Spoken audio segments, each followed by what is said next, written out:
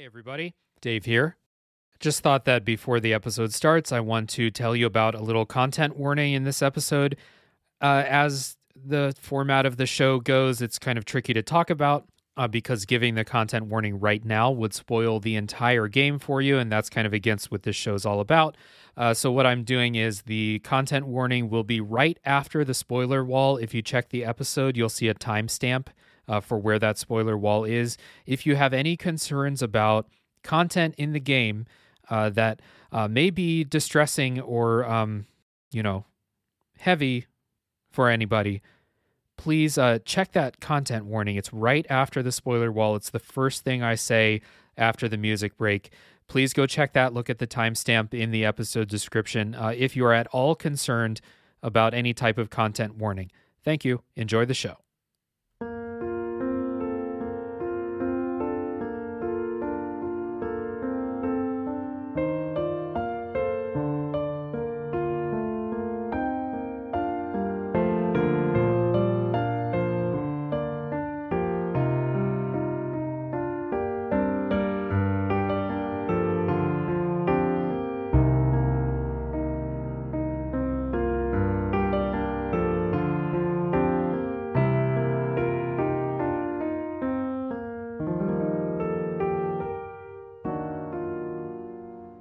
Everybody. My name is Dave Jackson, and this is Tales from the Backlog, a video games podcast where I bring in guests to talk about the games we play. My guest today is a friend of the show, a uh, panelist on the wonderful Cane and Rinse podcast, Brian Edwards. Hey, Brian. Hey, Dave. How you doing? Good, man. Good to have you on the show. Yeah, I'm thrilled to be here. I I I think more than friend of the show, I think you can officially call me fan of the show. I think I've listened to every one now. Um, I actually had a backlog of tales from the backlog, so I was able to sort through that. Now I'm current. So uh, yeah, I'm really excited to be here. Hell yeah, good to have you, man. It's uh, it's it's great having you on the show. I'm a big fan of Cane and Rinse, and so in case uh, anyone listening to this isn't really aware of what Cane and Rinse is about, can you uh, just explain that for a little bit?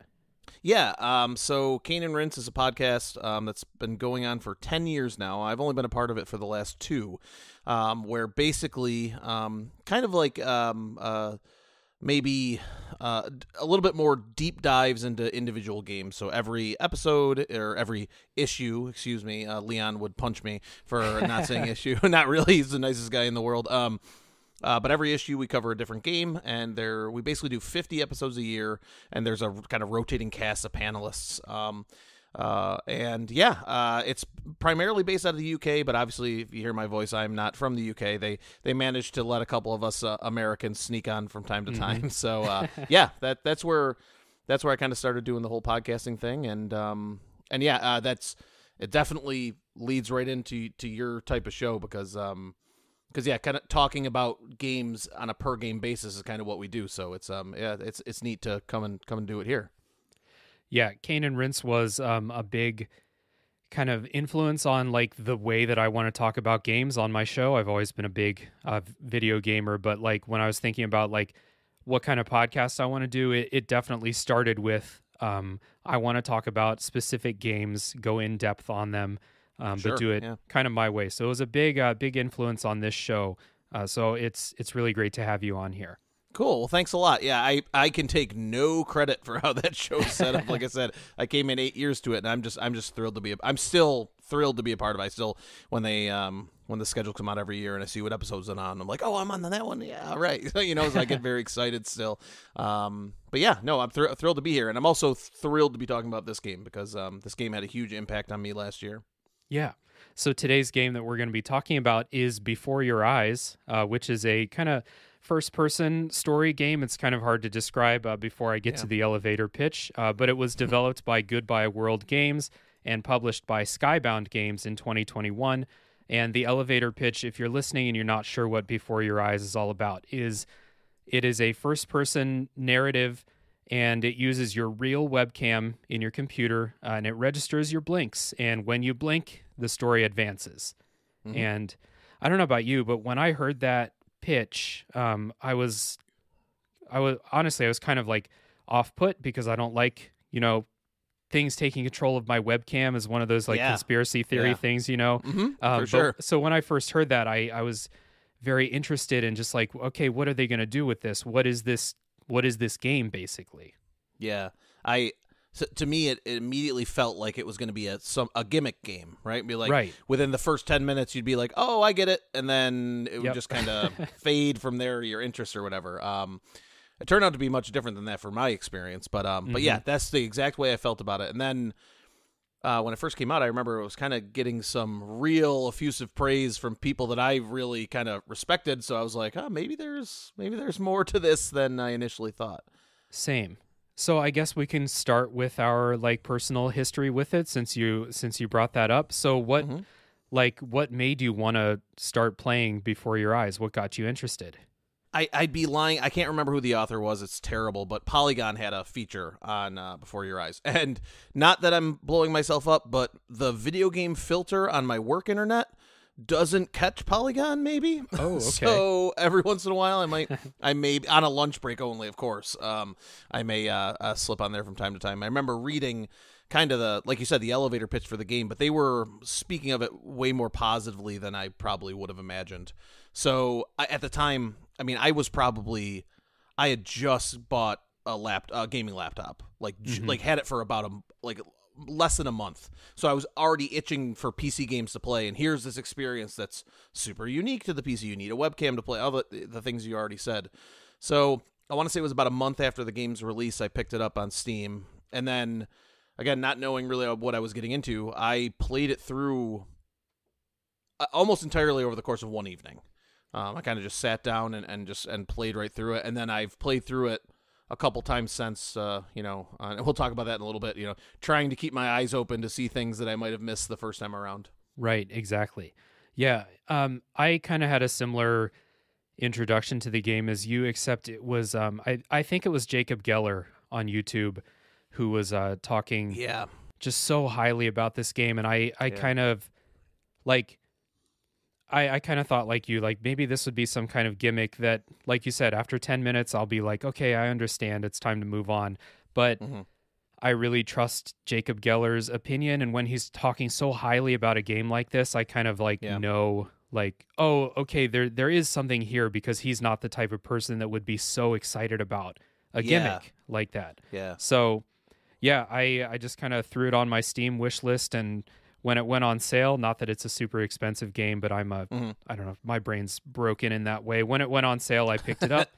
Um No, I'm. De- uh, you're not. Your brain's not broken. Well, if it is, then we're broken together. Because I literally today, I was like, "Oh, the Steam, um, the Steam Next Festival's up." So I know all these. I'm like, I wonder if any games went on sale. So I pull up my wish list, which is just huge, and just scroll through looking for the how many percents off I could see to see if I could snag anything. So no, I get that 100. percent Well, that's what you get for having a uh, a proper gaming laptop. My wish list know, is is literally everything I want to play on PC uh, that my computer can run, and it's like eight games. So Yeah. and before your eyes is is one of those. So people listening, if you're you're like me and you have a you know budget PC as they call it, you can probably run before your eyes on uh, low settings. It ran just fine on my computer, which like Nice.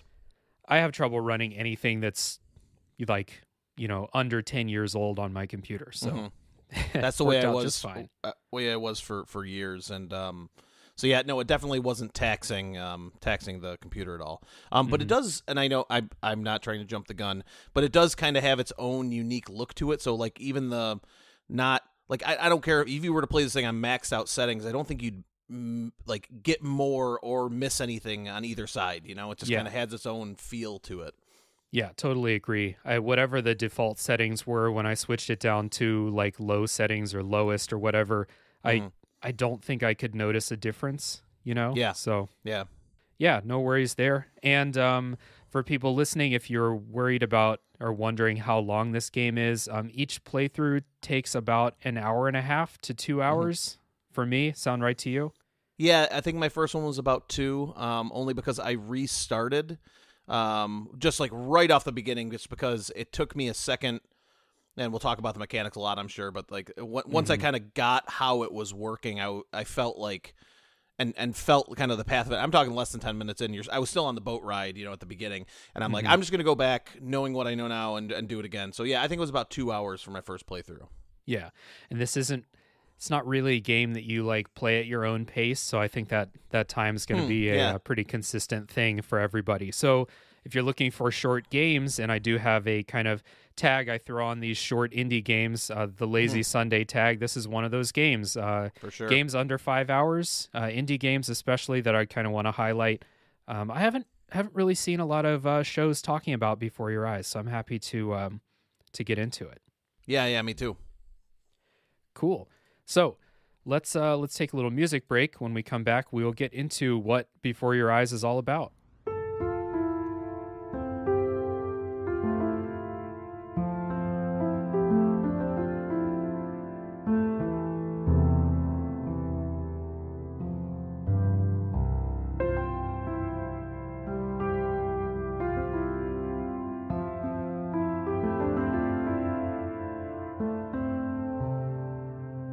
So the story in Before Your Eyes is set up in a way, uh, and we are not going to get into um, specific spoiler stuff uh, in the episode before the spoiler wall, as we always do.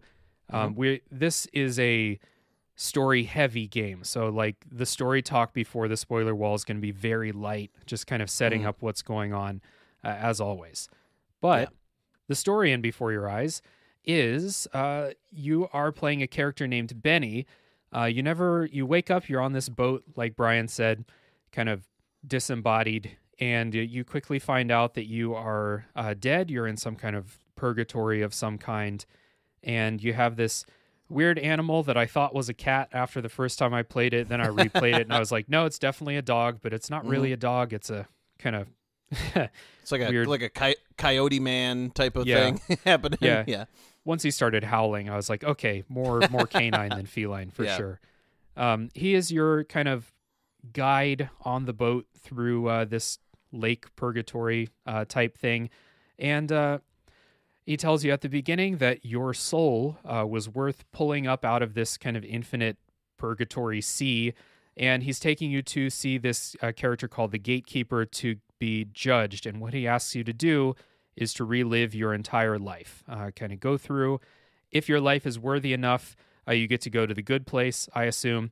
And if it's bad and if it's uh, not worthy, well, we don't want to talk about that. So let, let's just not worry about that for now, huh? Yeah. yeah, he almost seems like he's.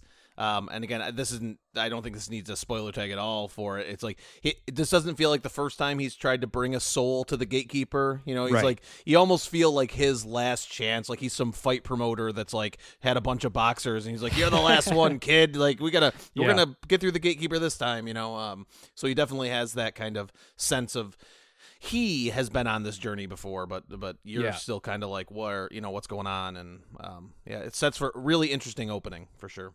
Yeah, and he the right away you get the idea that this gatekeeper has like this reverence, like you don't want to fuck with the gatekeeper. You get that feeling, uh, Nope. like at the beginning, and uh, he he's very kind of direct with you, like tell the truth about your life. I want to know what happened so we can make the best case for you, uh, like that. Yep. Yeah, like he's gonna be he's gonna be your defense attorney, kind of when you're getting when you get Right. to this gatekeeper. like, hey, the gatekeeper doesn't take any shit, so make sure you lay it out to me straight. What do you Uh-huh. do? What do you do wrong? You know, where have you been? What skeletons do you have in the closet? Like those types. Of, he doesn't come out and say it directly like that, but you definitely get that feeling that he's poking and prodding you to find out. You know what? You know what? Re- what really happened in your life, type of thing. Right. Exactly. So like that's the story setup. You're just going through this character's life uh, named Benny, and uh, I am not going to go any further into the story um, because Mhm. we start getting into well, we we start getting into heavy, heavy spoilers uh, much later in the story. But that's all that I want to say. I want people to play this game. Uh, like I said, this takes. Uh, you know, an hour and a half, two hours of your time. It, if you can't tell by now, Brian and I are both very positive on it. Think you Yeah. should play it. Yeah, So- it's it's one of those. Um, I feel like this is kind of becoming, especially with indie games, a trope where not a trope. That's a that's a, that's the wrong word. I hate that word. But um, kind of like a common theme that you hear. Like you want to go into this one knowing as little as possible. Yeah. And in, and for most of those games, I, I agree. And somewhat like uh, people were saying that a lot about Inscription this past year, and, and I played that game and I, I liked it a lot. But like I knew a couple things going in, didn't really ruin or mar my experience. But if I knew certain things about Before Your Eyes, I I can definitely say I wouldn't have been as you know taken aback by it. Um, so Right. so for sure, it's definitely this is one of those games that I think earns that. You know, if you can go in blind, no pun intended, absolutely do. Um, because it's uh, yeah, I think I think it's all the better for it. Yeah, hundred percent. Um, yeah, I agree. I'm kind of like. Inscription's a good example. There's so many people that have brought up Inscription, and like I said Mhm. before, I have a I have a PC that can't run stuff. It can't run Inscription, so Yeah, it's like people are like, Dave, I want to talk to you about Inscription. I'm like, okay, well, I don't, I don't know. I want to talk Yeah, to you about tell- Inscription, but I can't say anything, and I'm like, well, I can't play it, so yeah. Hopefully, um, hopefully they get on that that switch port soon. I think that's going to be a thing that's coming out. But uh, yeah, Um, I hope But so. yeah, this yeah. So like like you said though, like with this one, um, I think it being such a short experience. I don't say short, short shouldn't be uh, detracted. Like you know, i i if anything, it should be an attractive kind of proposition it is because that me. short, yeah. yeah. me too. That short experience is so chock full of unique and interesting things in this case Mhm. um, that I, I think it really does. It, it's kind of that model, like you said, lazy Sunday afternoon game. You sit down, you play through it start to finish, and you can kind of have this one core experience with this thing. Um, Yeah. So yeah, um, and it, and I, I think just from the outset, again, without getting into any spoiler uh, story details, it does. It really has a compelling setup for sure. It does. And yeah, I guess just without saying too much, and this will be the final thing I say about the story, I, I think the story is really good, and it's something that I've been thinking about since I finished the game, since I finished Yeah. the game the first time. And then uh, when we talked about doing this episode, I played it again, and I've been thinking about it since I did it again. I really think this is a. Uh, we'll we'll talk about the the main mechanic and how it plays into the story, but these things together it really gives you an experience that is uh, really memorable.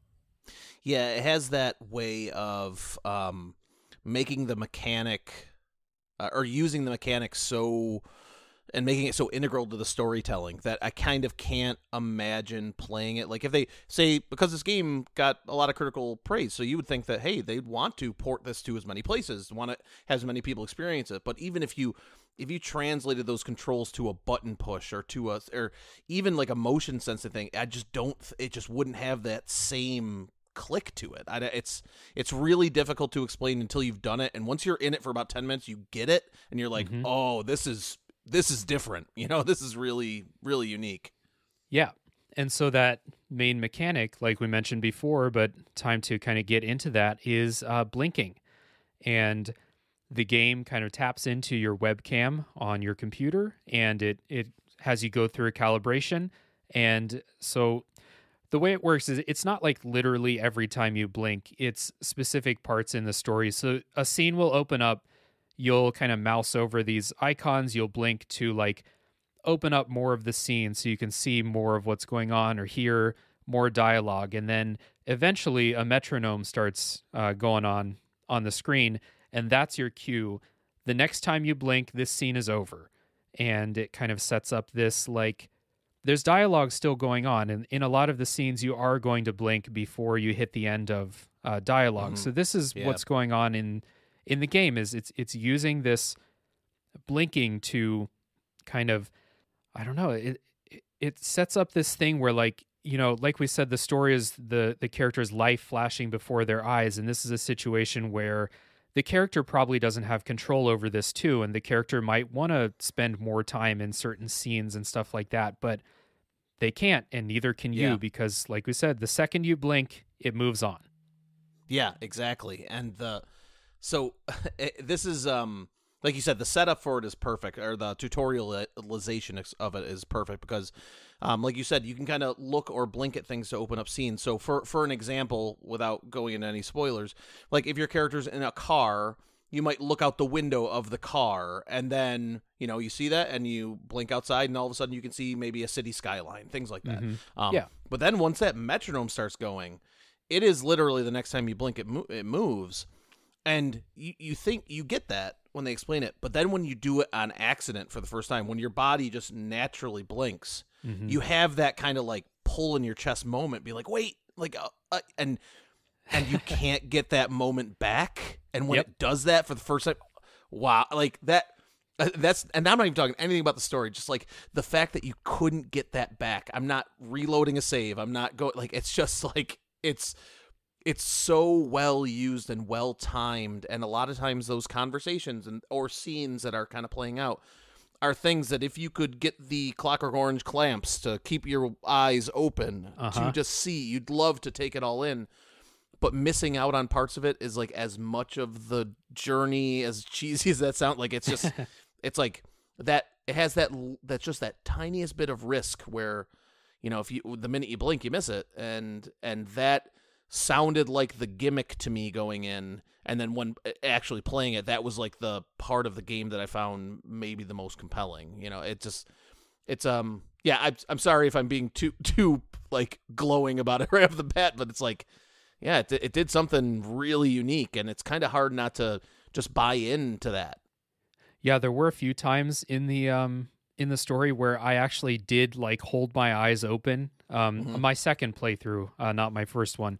Uh but like you mentioned the Clockwork Orange thing cuz you want to see what's going on. Uh there's a couple things um I want people to know. Uh number 1, you're not going to miss like crucial story information if you accidentally Right. blink. Uh they they give that stuff to you before the metronome comes up most of the time or they give you that stuff in scenes where like uh later on they kind of play with the blink mechanic a little bit yeah and so i just yeah. want people to know like you're you're not going to miss crucial story information because you blinked on accident that's not an issue and Mm-hmm. uh the other thing is if you do hold your eyes open like an unnatural amount of time the game will comment on it the characters will Yeah, say yeah, they will. uh, it's Yeah. pretty cool Yeah, the the way it reacts to you attempting to like to circumvent that system or whatever to maybe just get a little more a few more seconds out of it. The game the game is very quick to let you know like, "Hey, we know we know you're looking in on something now that you maybe sh- not that you shouldn't be, but just like Oh, you're still here, kind of Yeah. situations. you know what I mean? It's pretty,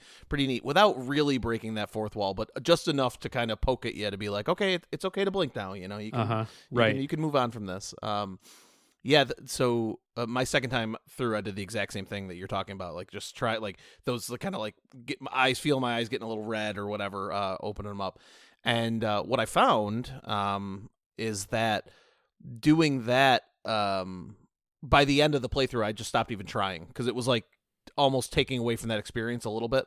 Mhm. Um, but it's so interesting that th- as the further you go on through the game, they start playing with that mechanic and turning it on, not on its head, but just putting you in situations where, like, or even uncomfortable situations where you might want to blink just Yeah. to make that uncomfortable situation stop.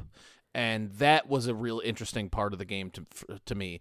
Um, because for so long you're just worried about blinking and missing it, and then now you're in, maybe put in a situation where you just want to blink because you you want that to be over, and that Right. was a that was a really interesting um, kind of twist on it.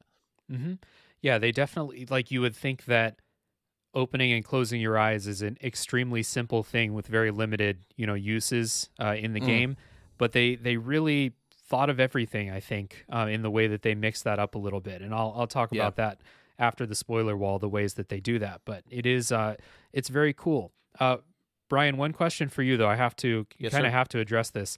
Did this blink mechanic work for you reliably, like throughout your entire playthroughs?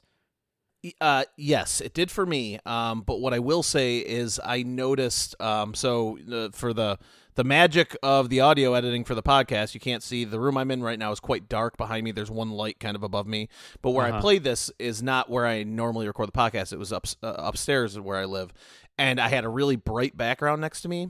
And what I would find is that sometimes a reflection or a or just like a playing of lights might trigger something. So what I found the best way to play this was actually uh, with with no backlight behind me, just kind of the light from the webcam, the the little you know blue light on my face, and and I had no issues when I did that, but.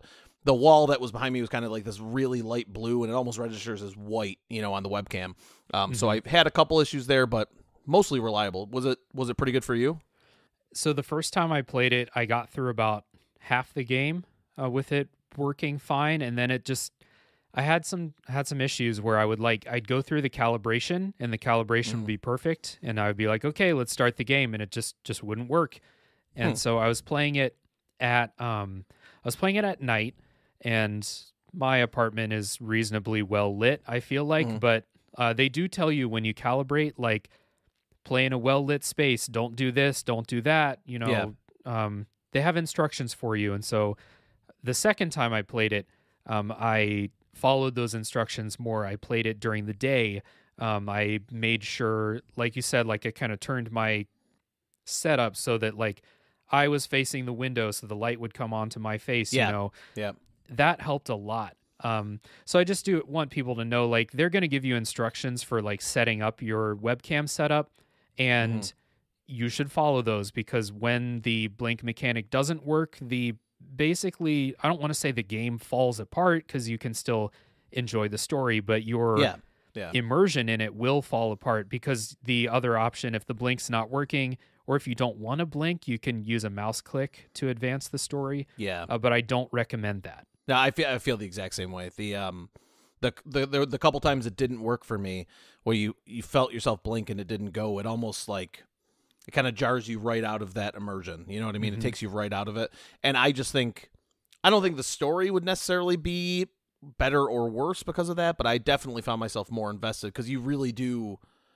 It's it's interesting because there's a lot of first person video games, Right. but the but the lens that you're looking through is always the camera that you're controlling with the mouse or with the keyboard or, or, or excuse me or with the controller. But this, when your actual control is your physical eyes blinking, you just feel that much more connected to the protagonist, and Mhm. um, and it just when that do, for the first time that doesn't work, you're just kind of like, oh, well, that was weird. I blinked, so they should have blinked. You know, it just. Um, fortunately, I didn't have too many problems with it, but um, but I did read a couple things in over the last week or so where people, some people describe the controls as inconsistent, and um, so I could definitely see that maybe you know kind of gumming up your general sense of the game. Yeah. Yeah, it it was a real shame the first time I played because some of the scenes that would have kind of maximum impact with uh you know the way the blinking works, you just Mhm. you just don't get that same impact when you are um like one step removed from like that interactive experience. So, Yeah, yeah, definitely recommend people um, follow those instructions. Uh, make sure that you have a good setup to play this game. Uh, you won't regret taking the you know the five minutes to get yourself in a good uh, good setup for it. Um, Mhm. But I'm like, so you mentioned the next thing I wanted to talk about, which was um, how their first person is like that that classic thing that video games do when they want you to. Well, it's one reason why they put you in first person, but to get you in the you know into your character a little bit more than you know Yeah. controlling your dark souls character in third person or Right. something like that right and I, I just felt like this was an incredible like creative touch using the blink thing to like really put you in the body of the character Yeah. um you, like you don't you don't learn a ton like i don't want to uh, you you definitely learn about your character but like I, I don't know this is a very short game that's what i'm trying to say you're not going to go super super in depth but like just connecting it to your body really makes it like feel like it's almost happening to you in Yeah. a way that like you know when i play i talked about firewatch on the show before i talked Mhm. about gone home i never thought it was me walking around the house and gone Right. home but Yeah. in this game you almost approach that because it is your body Yeah, that uh, 100%. I think you nailed it right on the head. I, I only made a couple notes uh, for tonight's recording, um, and one of them was talking about how I felt like it was me, like Yeah. like it, it to the point where, and I think the story is affecting uh, on a number of levels, especially if you have certain yeah, experiences in your own life. Um, the the Mhm. story can hit you in a couple different ways. Um, but yeah, to really attaching that to your physical actions, and we're not talking about like like you know oh i'm really uh doing the soldier boy and just dance for Kinect you know what i mean? Uh-huh. like like yeah your body was doing all that but like this had a real like a there's something about the blinking mechanic that added an, an emotional resonance to the playthrough that i frankly wasn't prepared for. Like I- i've been emotionally affected by games. I go up and down. Sometimes it's normally where i am in life right? Like you know at some you know some parts of my life i could play the most you know play The Last of Us Part 2 and feel next to nothing. In other parts of my life, I hear the opening theme song to Kingdom Hearts and tears come to my eyes. You know what I mean? So it's like yeah exactly it's a roller coaster. But putting you in that in that real first person uh, uh, situation just it, it just it made everything that they wanted to hit just hit a little bit harder for me and so which i'm assuming was very much by design because this is another another thing about this game that i think it's very tightly designed because it has to be for the narrative mm-hmm. it's trying to uh to trying to get across yeah so like i often uh, when people ask me like why do i love video games so much um because I, I like I've said it on the show before, I think, but like I don't watch a lot of movies. I don't watch a lot of Netflix anymore. I, yep. I basically I play games in my free time uh, as well as you know podcast stuff and other hobbies and stuff. But like games are my preferred uh, media for entertainment, like yep. by far, like way higher than anything else. And like the the interaction that like connects you to a video game, even in something like you know Dark Souls or um, games that are not emotionally resonating with people. Not to say no one resonates with Dark Souls, but you know what I mean.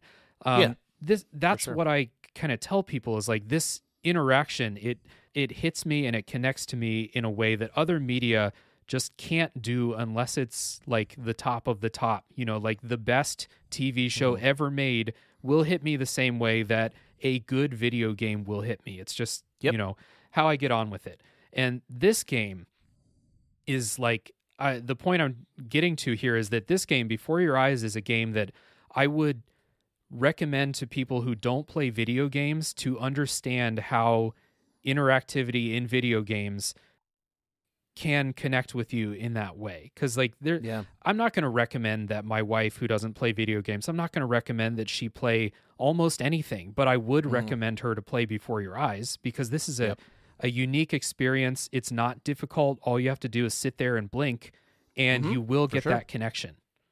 Yeah, that's that that's really well said. I, I, hadn't made that connection independently, but now that you say it out loud, it's that's hundred percent right. I um, it's it's it's funny you mentioned Gone Home because Gone Home and What Remains of Edith Edith Finch are the two games that um my wife actually sat with me while I played through them. Mm-hmm. Um, because they do have that like you said, it's it's a it's a first person thing, but you never really believed you were walking around the house and gone home, and I agree with that as much as I like that game.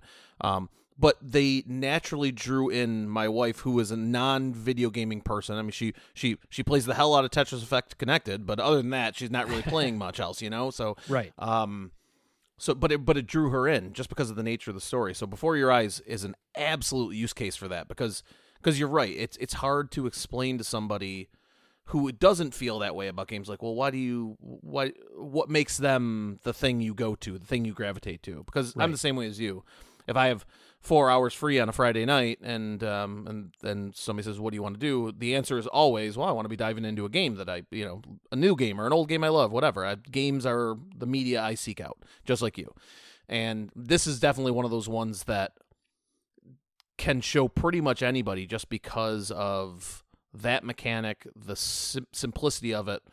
Like you don't you don't you're not trying to say somebody, "Hey, The Witcher 3 has some of the best storytelling of all time, but you also need to know how to use dual analog controls. Make sure you map your spells to the right, you know, like it's none of yeah. that. It's just it's sit down it teaches you in very simple fashion how it works and it's very easy to get right off the bat. Like you know yeah. what you, this game's going to ask of you.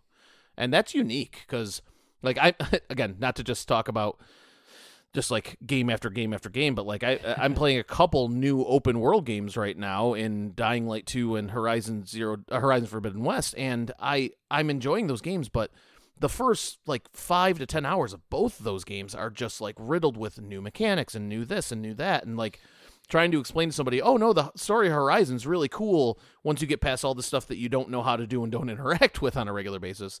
Before your eyes is the absolute antithesis to that, where it's like sit down, calibrate your thing. All right, this you blink to move on. Good, good, let's go. And that's pretty cool.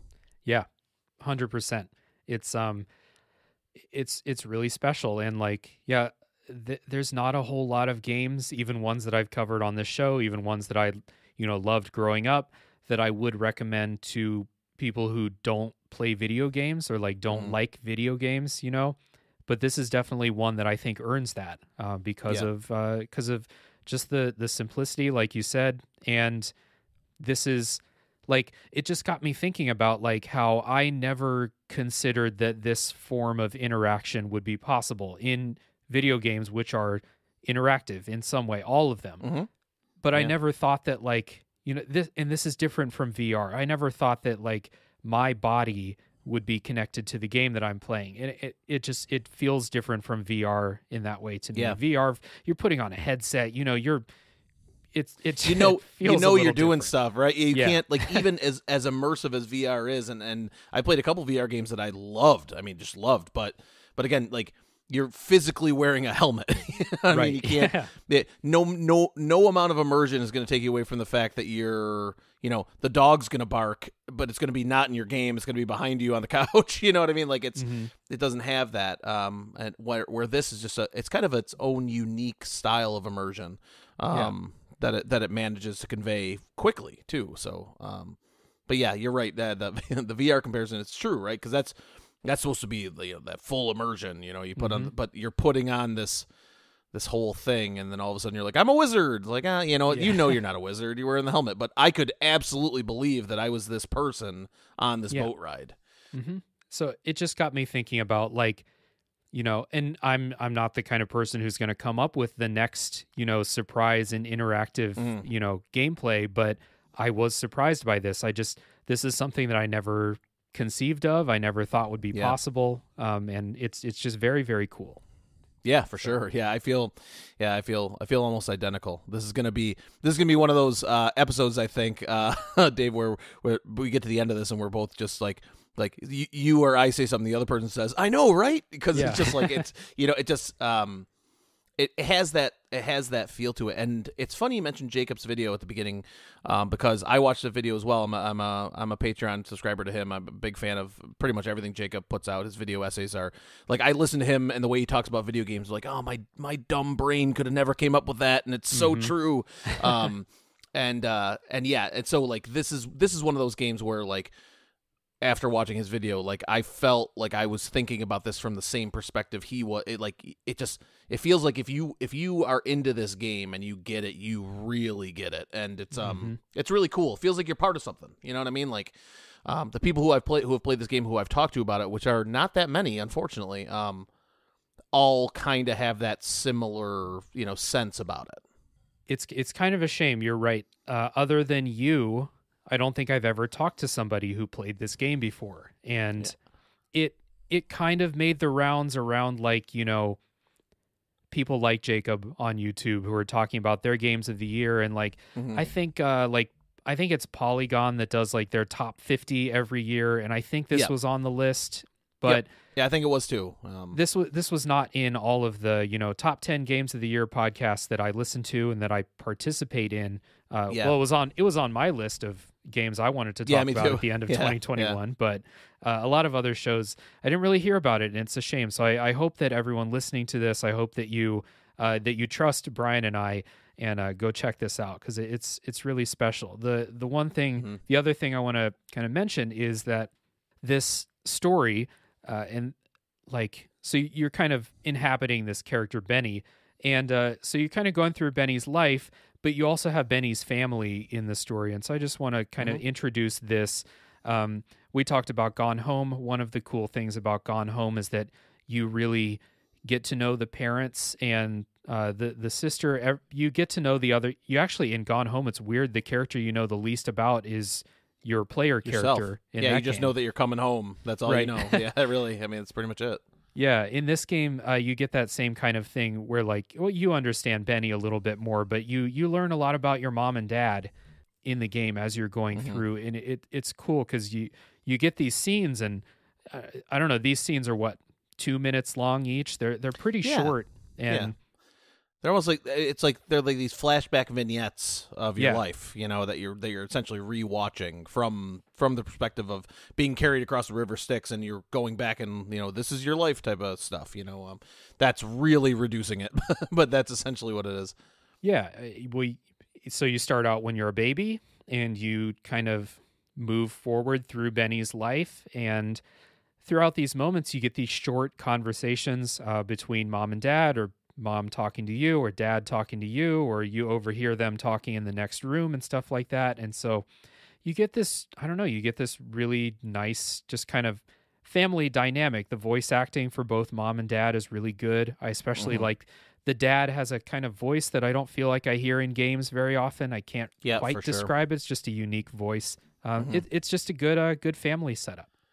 Yeah, it feels very natural. Um, and I think that's that's one of the one of the cooler things about it is that um, and I, I have no problem with prestige voice acting and things like that, but like Yeah. none of these people feel like they're playing a character. They're just kind of being who they are, which is Mhm. a unique skill set in and of itself. And um, and you just don't you don't see a lot of it ever. You know, normally when you're playing through these games, there's like very defined characters, and these characters are well defined, but you're getting snippets to their regular life. You're not seeing them on these grand stages. You're just seeing them like you know after dinner or like on a car Right. ride, like where they're at their most normal. Like all of us at our most normal, we're just kind of chilling at home or whatever. And Yeah. um, to make that compelling and, and believable is is a an achievement in all you know uh, all by itself. So um, yeah, I really I really kind of became very invested in the relationship that the mom and dad had, and then kind of like with things that happened with the mom later on in the story, and it's um it's a, it's a you become very attached to these characters. At least I did, uh, pretty pretty quickly. Yeah, that's a good point you made. We talked about how we kind of felt like this game was happening to us, like we we Mhm. felt like we were the character, and that's a lot easier to do when you're hanging out with your family after dinner or like you know the one of the biggest events in the first part of the game is your family gets a cat and like Mhm. You know many of us have had situations where we get a pet this is something that's really relatable to everybody and you're right it's not like Edith Finch, you're walking around this weird cursed house that has happened to, Mhm. you know, Right. that's not something that I have experience with, but I've had experience sitting around at the dinner table. My parents are having a boring conversation. You know, they don't Yeah. they don't make an effort to make this this like, you know, not every conversation is this deep thought provoking thing Yeah. or uh, you know, like you said, you're not on a grand adventure. You're literally you're just a kid, a normal kid, you know, playing Mhm. the piano. Yep, learn it. Yeah, exactly. Doing doing normal kid stuff, having normal kid problems, feeling normal kid stress, and like having that, um, you know, interaction with your parents, and uh, it- it's it it all feels so normal without feeling generic. Like it's just like it's just well done, subtle. It's very subtle, and Yeah. and it, it its subtlety makes it even more effective, at least for me. Yeah, definitely. I think it's really hard to make something that is simple but not boring. You know, Mhm. subtle is Yeah. a good a good way to say. It's a really tough uh, tough balance to strike, and I think they did a good job. yeah, for sure. Yeah. So uh, we're gonna take a little music break, and then uh, you're gonna listen to some of the music. We're gonna come back and kind of round out the non spoiler section. Just a little chat about what the game looks like and what it sounds like.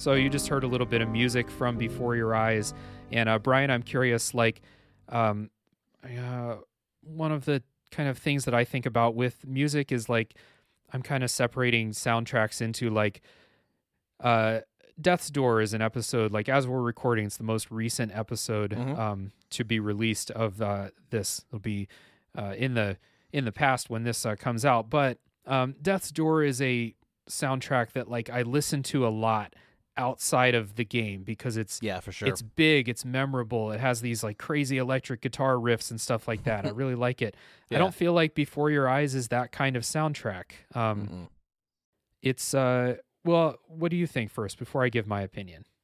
No, I um I'm I'm sure if if the history so far of the show uh, goes, we're probably gonna agree on that. Um, Yeah. no, I um before you're I listen to a lot of video game soundtracks. Um, I annoy my family with it just because you know, they'll want to listen to you know um what my four year old son calls actual music because he's four. Right. um, and uh and uh but uh I listen to a lot of video game soundtrack and Before Your Eyes never comes up on like a rotation, but Mhm. it's just because. And not to just repeat everything I just said about the story. It's just um it's it's more contextual, it's more subtle and um the, they have this. So you mentioned before that Benny's a piano player, and they have these piano pieces and these themes that kind of and motifs that kind of repeat themselves, and they only become more meaningful the more you play the game. But it's also not something that I would just like put on in the background. Maybe like if I went to sleep, but maybe I'd try that sometime. Like if I went to sleep, listen to the Before Your Eyes soundtrack. But it does, like you said, like comparing to like a Death's Door, which has these grand kind of like you know melodies with these hooks and everything else, and and and this is just way more kind of. I it's insulting to call it not insulting. It's maybe a little um uh, reductive to call it background music because I think mm-hmm. it's more than that. But that it has that feel to it. Uh, it does, sure. and because because you're so connected like I think this works, and I think you're right. It it is kind of background music. It is kind of like just emotion in the form of music or tone in the form of music because you're so connected to like what's going on in the scene. You don't really like. I mean, you are so immersed with uh, the blinks and everything like that. Mm-hmm. I I felt like I I don't know. I'm thinking back and I'm like I don't know if I would have had the brain space to appreciate this you know these grand melodies playing in the background and what the music in uh, before your eyes does is it just kind of mm. Sets the mood of the scene and it changes to fit what's going on in the scene like you said you have those um, kind of recurring motifs as you go on through the story that kind of uh, bring back the emotion and the memory from earlier in the story a little bit yeah it's um yeah like a lot of times if a if a game doesn't have music that I listen to outside of the game, then I maybe sometimes I forget to mention it in the episode or something like mm-hmm. that. But in this, it just you know it it fits so well. It's it's not the music is not the focus the way it might be in a different game. It, yeah. It's just kind of setting emotion and stuff like that, and I think it does it really well.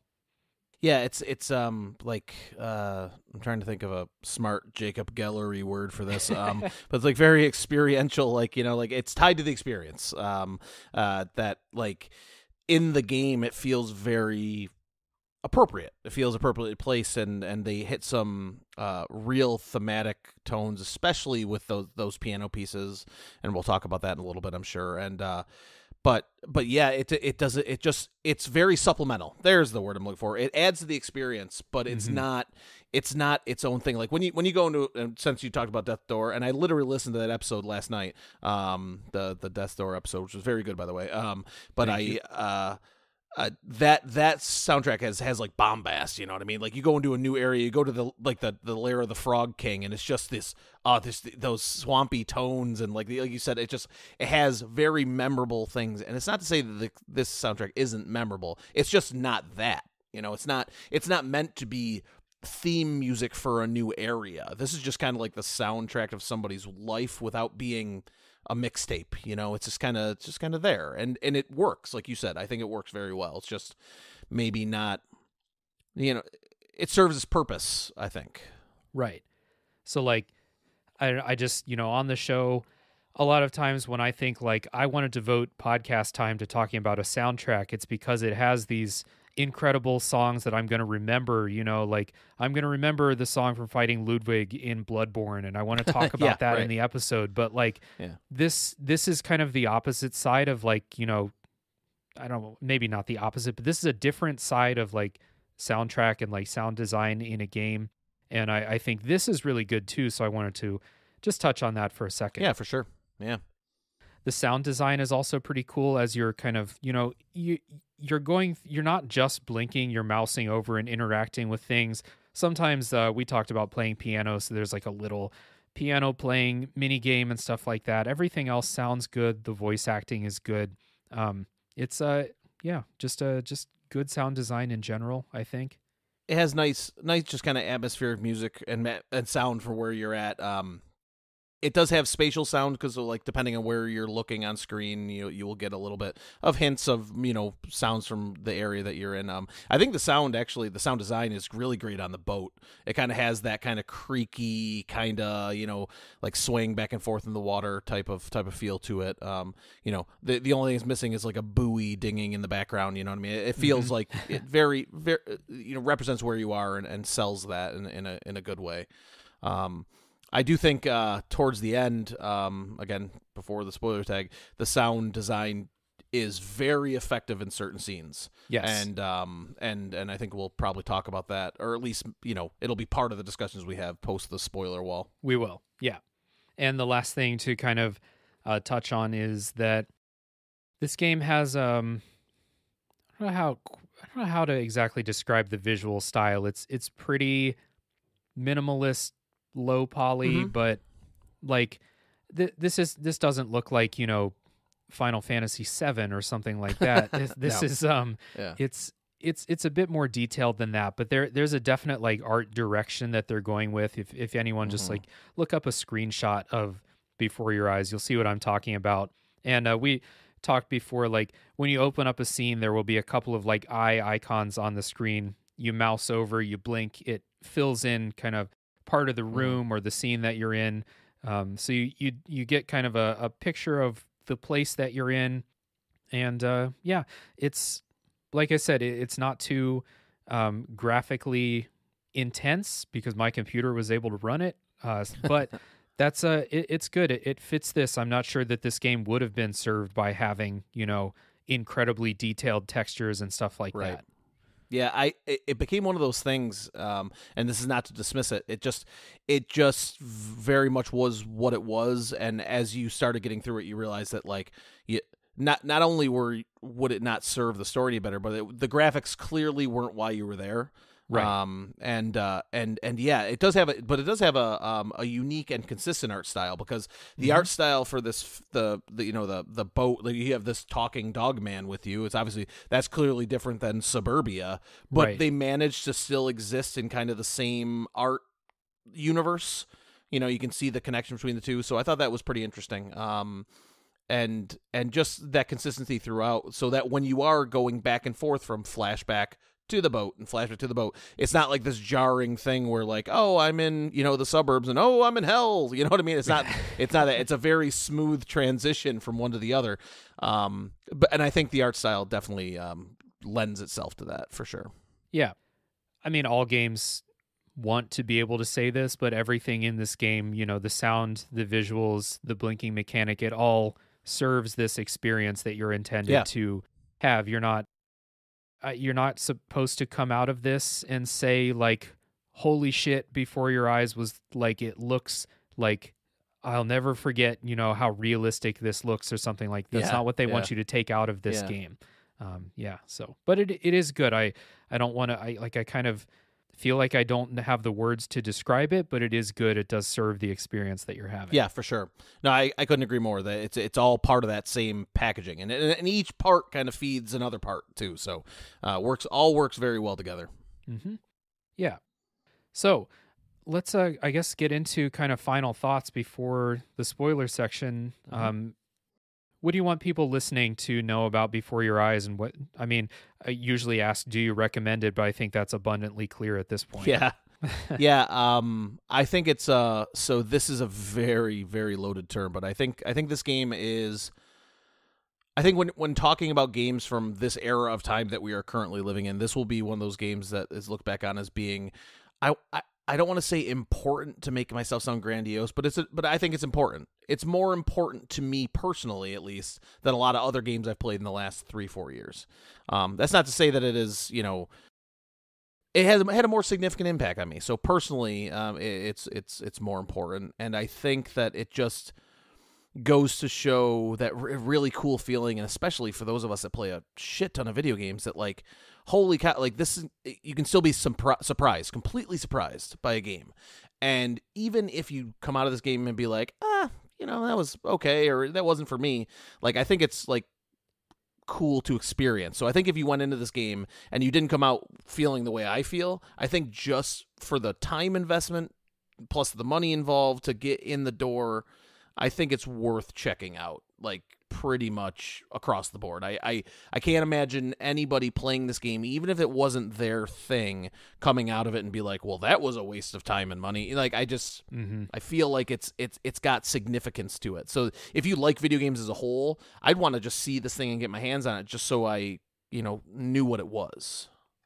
Yeah, that's that's something that kind of drives me to check out different kinds of games. Like I'm not, and like there are certain genres of games that I will just reject outright and not play. Mm-hmm. And like if that's unfair of me, cool. That's that's the way I am. Yeah. I play a lot of games. Um, I try to play. I don't know. What I'm trying to say is when a game comes out and it has this reputation of being like this is something that is totally unlike any other game that you've ever played, and they do it well. Then I do want to try that, and I think that Before Your Yeah. Eyes uh, definitely deserves that Yep. that reputation. In 2021, I had a lot of free time. I played over I can't remember the number. It was over 70 games that I played. Oh wow, cool. And Before Your Eyes was one of the games that I will remember like for a long time. Like if you ask me in 15 years, I'm not going to remember big details about Metroid Dread. But I will remember big yeah. details about Yeah. Before Your Eyes cuz it's a Mhm. Just a super unique experience and like I said before, this is a game that I will recommend uh, to everybody. My favorite games ever are usually not games that I would recommend to everybody. I know there's not going to be people, there are people that will not enjoy playing Bloodborne as much as I Mhm. do. But um, Before Your Eyes is something that I think anyone can enjoy. My dad, who's to the best of my knowledge never played a video game, I think he could play this and enjoy it. And that's Yeah. That's a really special thing that I don't think many games can claim. Yeah, I no, that 100%. Yeah, well said. Yeah. So, little housekeeping before we uh, go into Spoiler Town. Uh, Brian, first off, where can people find you and where can they find uh, Cane and Rinse? So you can find me. I'm at uh, Briantendo 64 on Twitter. Um, it was the best I could do that late in the game. I apologize. Um, and uh, and I have a blog on there. It's brianbabbleson.com. I literally just started. I've written like five things. So and uh, I, I am not consistent. So uh, mostly on Twitter. I just post dumb stuff about things I like. And then Cane and Rinse um, is at Cane and Rinse on Twitter, and we also have a Cane and Rinse Patreon uh, where you can get episodes early and get access to things like um, we have monthly Patreon exclusive podcasts, things like that, which I'm very little involved with the producing of, but I am hap- happily still subscribed to the Patreon to enjoy. Um, so and and if you I I I don't want to overset my bounds here, Daves, but if if if I I would think that if you like this podcast, you'll probably enjoy Cane and Rinse. I- know that I enjoyed Cane and Rinse before I was a part of it, and I certainly enjoy this podcast too. And if you just like people talking about video games and trying to talk about them in a way that like there's no there's no conversation I've ever had and I've ever heard on this podcast uh, on Cane and Rinse or this one that I've left feeling like I didn't learn something from like about the game about the people who played it about the way they feel and that's just kind of the way I feel about both these shows so yeah if you like this one you'll probably like that one um and if you don't that that's cool too like what you like well, if you don't like this show, I don't. I'm not sure why you're still listening an hour into Yeah. the recording, but Um. um, yeah, uh, definitely recommend people check out Cane and Rinse. Uh, consider contributing to the Patreon. Uh, Cane and Rinse is one of two things that I'm a patron of on Patreon. Uh, I Oh, think wow, it's, thanks. It's very, awesome. very uh, deserving of that. But uh, yeah, like I said, they've been going for 10 years. They have covered, I think, over 500 games at this point. Yeah, well, yeah, this will be. Uh, well, I think we're on episode or issue. Sorry, Leon. Uh, um, we are on issue. I think we just recorded the Kingdom Hearts issue uh, two days ago, and I think it was five oh six. So Yeah. yeah. they're they're they're well on their way. Again, I've only been a part of it for the last two years, so I can't claim credit for most of it. But Right. But if they're, um, what I'm trying to say is that if you like a video game, chances are Cane and Rinse has talked about it at some point, so you can go back and Yeah. find it. And I, I definitely highly recommend it. I will put links to all things Brian and Cane and Rinse down in the Oh, wow, episode, thank uh, you. the show notes down there, so people can find it easily. And uh, for anyone that's going to tap out now because you don't want to be spoiled on Before Your Eyes, and I do recommend that. I do recommend you stop listening now and For go sure. play the game. It takes two hours. Um, come back later. Brian and I will be here waiting.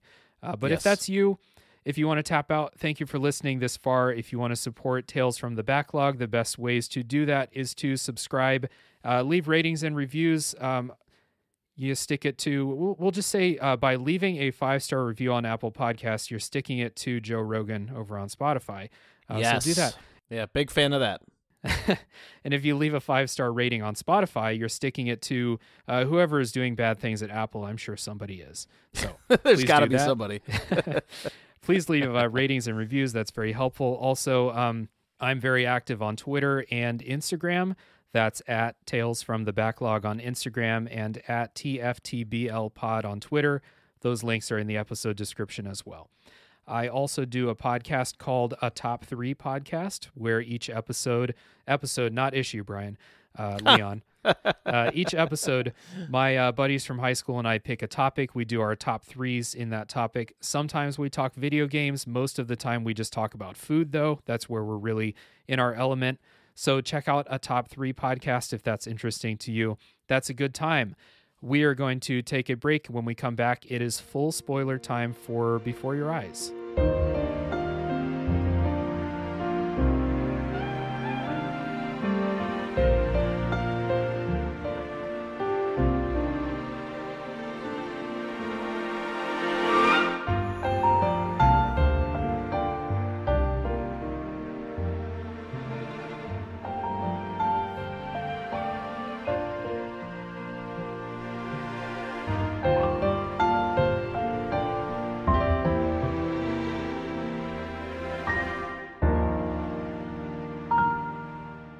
I want to begin the spoiler section for uh, Before Your Eyes with that content warning that I talked about earlier. Uh, if this is something that um, is going to be uh, distressful or triggering for you, uh, I at least think you should proceed with extreme caution throughout the spoiler section and uh, playing the actual game. Uh, but Before Your Eyes deals heavily with the idea of a sick and dying child. And if that is something that um, for any reason, if that's something that's going to cause you distress, uh, please stop listening or uh, avoid playing this game because it is uh, it.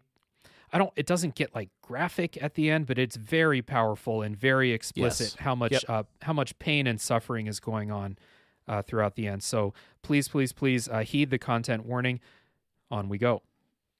So, uh, Brian, I think this story is a kind of story of two halves. Uh, I think Mhm. like so we have the uh, the beginning half, and then we have the uh, the truth. We'll say Mhm. so. Yeah. Um, did you like when you're playing through the first half all the way up through like when Benny becomes a you know successful uh, artist and stuff like that? Did you have any inclination that something was off? So I I don't think so. Um I'd like to think that maybe my foreshadowing eyes were uh, tainted by the blink mechanic because I what like didn't see it coming. But Mhm. what I did think though is that when we were going through, um, like like obviously the piano recital didn't work out, um, and and Benny kind of and his mother had a falling out, and then you know Benny rediscovers art through his failure, and then it becomes this you know thing. He, now he's becoming this worldwide renowned artist. I was like. I remember thinking, "Wow, this is cool," but it was like one of the f- first things that I just didn't think was believable, which I think was in hindsight interesting because it wasn't believable because it wasn't true. Mhm. Um, and I just, but dur- even during those times, like when Benny was, um, you know, uh, having success, but still not, not uh, being like fulfilled, like being happy it with that success. I was thinking like, okay, maybe this is gonna go somewhere, maybe it's gonna and then and then when the wall was uh, kind of fully lifted, when you have that scene when you come back to the boat and the boat, the boat, the ferryman, the ferry dog or whatever you want to call him, uh, Mhm. kind of starts yelling at you a little bit. Like, are you kidding? Like, this is not. This isn't gonna work for the gatekeeper. You know what I mean? Like, you need to find your truth. You need to do this, and like, like that was kind of the part. Like, I'm like, oh wow, and then it's just kind of the dominoes started to fall, and then once you kind of knew, I was like, oh Jesus, this is how this is gonna go, and even knowing it from that point on, I want to say that's maybe half an hour out from the end, somewhere in that range right. um that was still kind it was still kind of a gut punch you know like um but no i don't think that i I, I definitely didn't have the mystery solved, you know, in quotes. Uh, I, I, I was pretty all in on the. Well, this is the story they're telling, and I've loved it so far, so let's keep going. And then it hit, and I was like, uh, then the story became a way more effective, and b way, way more uh, like just hard, just a hard hitting story. Yeah. So like I didn't expect anything was off because I thought that I was going to play through a person's entire life from childhood to like being really old, you know? Right. So Yeah. like we're and I knew that this wasn't a really long game, and I was, you know, um, I was like, okay, I've been playing for a while. You know, Benny's in his 30s or something like that, and he's a successful artist. Like, okay, where is this going to go now? And I think the part where, um, the part where his mom dies happens before you find out that it's a lie. Like, I think that happens in his imagination. Yeah. I'm Yeah, almost positive. Yeah. That's why he becomes famous. He starts painting inspired by his mom and stuff like Yep. that.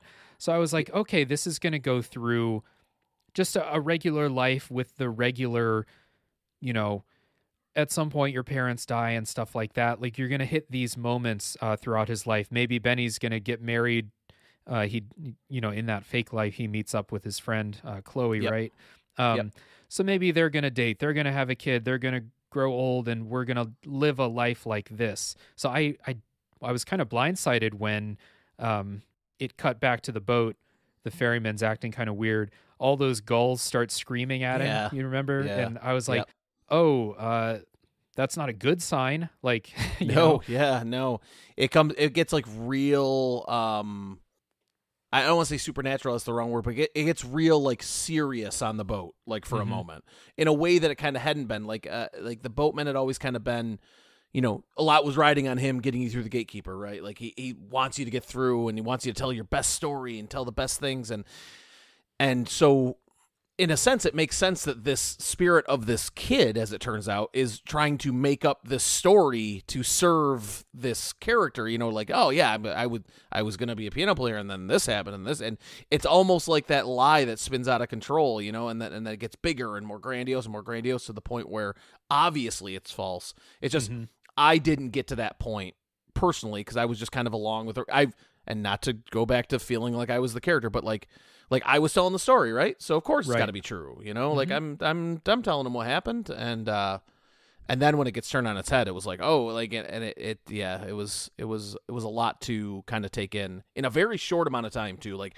it hit the brakes just real hard on you, and I think that was really uh, tremendously effective um, for making me feel terrible, but Mhm. not. Yeah. I don't know. It's hard to explain. Like you know, like it's you know, uh, it's not to be uh, so fucking artsy fartsy about it, but like you know, like you just like like that's what that's what good pieces of art and pieces of fiction do, right? They make you feel something. They kind of catch you off guard, and they and they make you react in a way maybe you weren't expecting and that's what that moment did for me too and then from that point on like it was like like I was on the verge of like, oh, maybe I'll finish this tomorrow or maybe go to bed. And then that happened. I'm like, I'm not. I don't care. I don't care if this goes on for another hour and a half. I'm I'm I'm I'm here. You know, I'm not going anywhere till I know what's going on. Yeah. The, I get so like number one, um, I am almost never clued in on foreshadowing or uh, you know, possible unreliable narrators or anything like that. I'm Right. very like in the moment when I watch movies, when I play games. Uh, if there is a twist, I will 99% of the time be blindsided by it. I'm just I'm just never looking ahead. Um, I'm always just kind of going along with what's happening.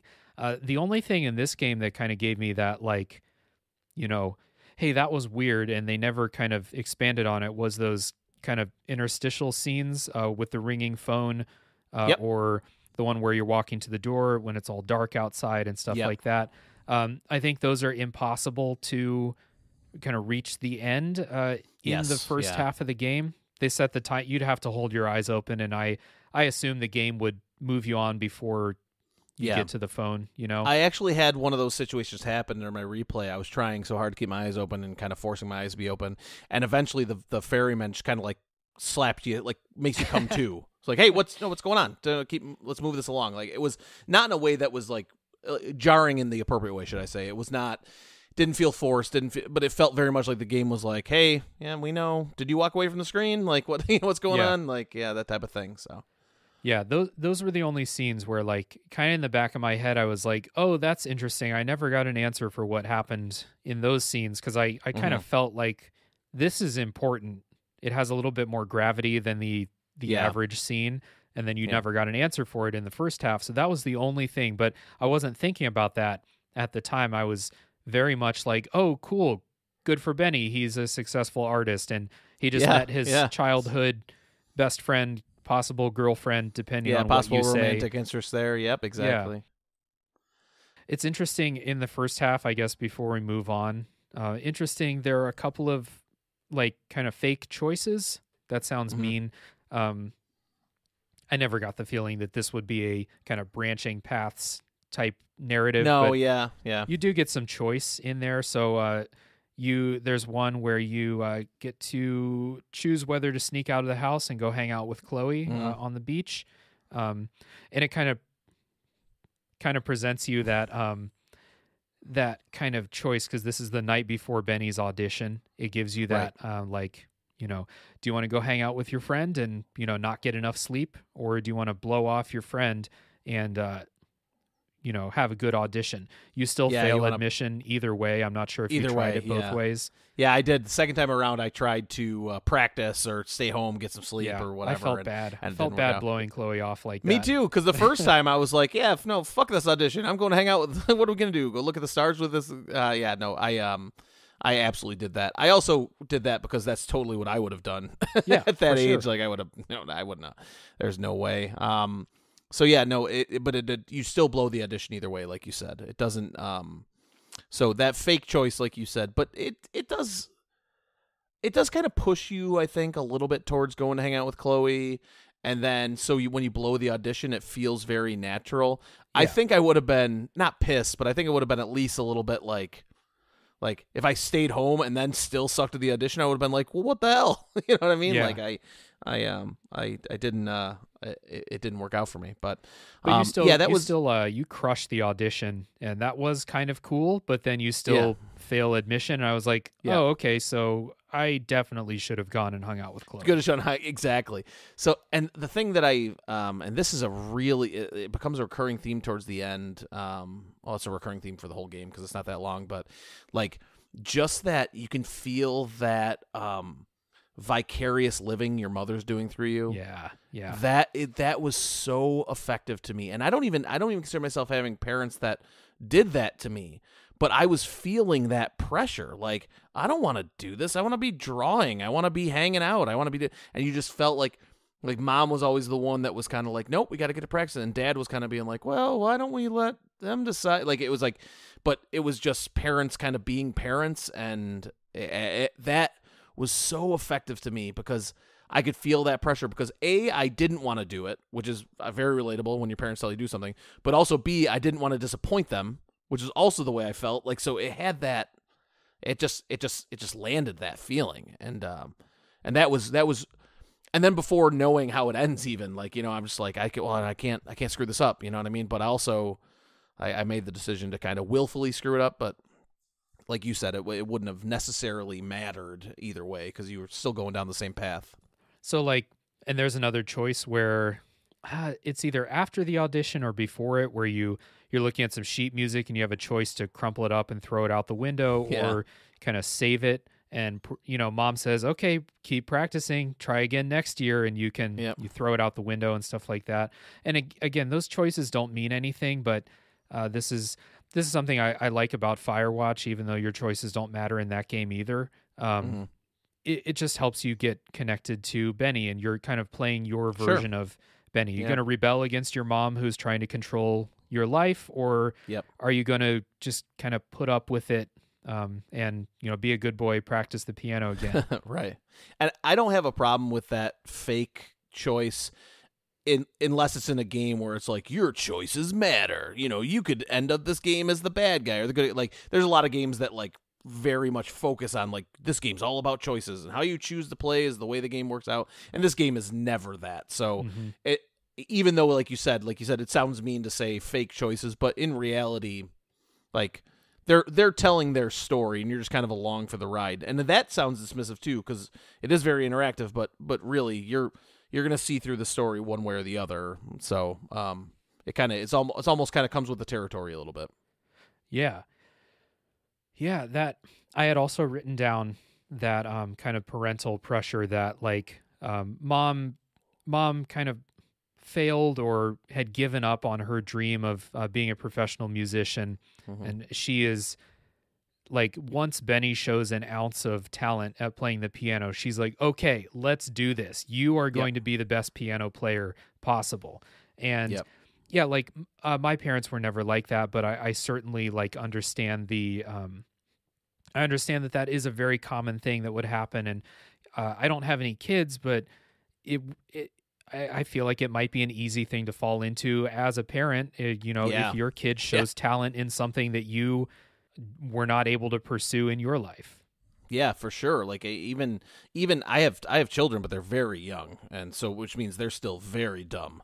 So um, they are no. But reality is like you know my my son shows an aptitude to something, we just like and even if even just in interest wise like so you know like my four year old got into the ghostbusters so now he has a ghostbusters fucking everything you know what i mean like exactly. hey ghostbusters birthday party go you just you want to you want to make the kid happy but i also want to like you know if he shows an interest like hey well you know you, here here it Yeah. is um so i could definitely see falling into that trap um or, or not, not even trap just like that would feel like the natural progression of things right and then that Yeah. kid gets to a point that we all got to some earlier than others where you're just kind of like oh i don't actually want to do this Mm-hmm. and then being able to separate yourself from that has to be very difficult Yeah. I mean like I'm just kind of imagining like I when I was a kid I wanted to be I wanted to be Michael Jordan. So like of course yeah. just I mean God help if if I ever have a kid, God help them if they show any talent in basketball because I would I would just be like, okay, this is our ticket to the big time. Let's go. Mhm. Um, yep let's go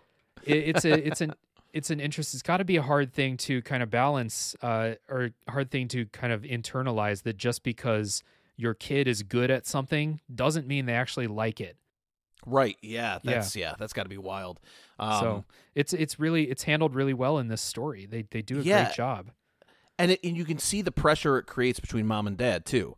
Like dad is like kind of like and i think i think we especially in modern pop culture we fall into a trap of like dad is the cool dad and like mom is kind of like oh the overbearing the overbearing mom type.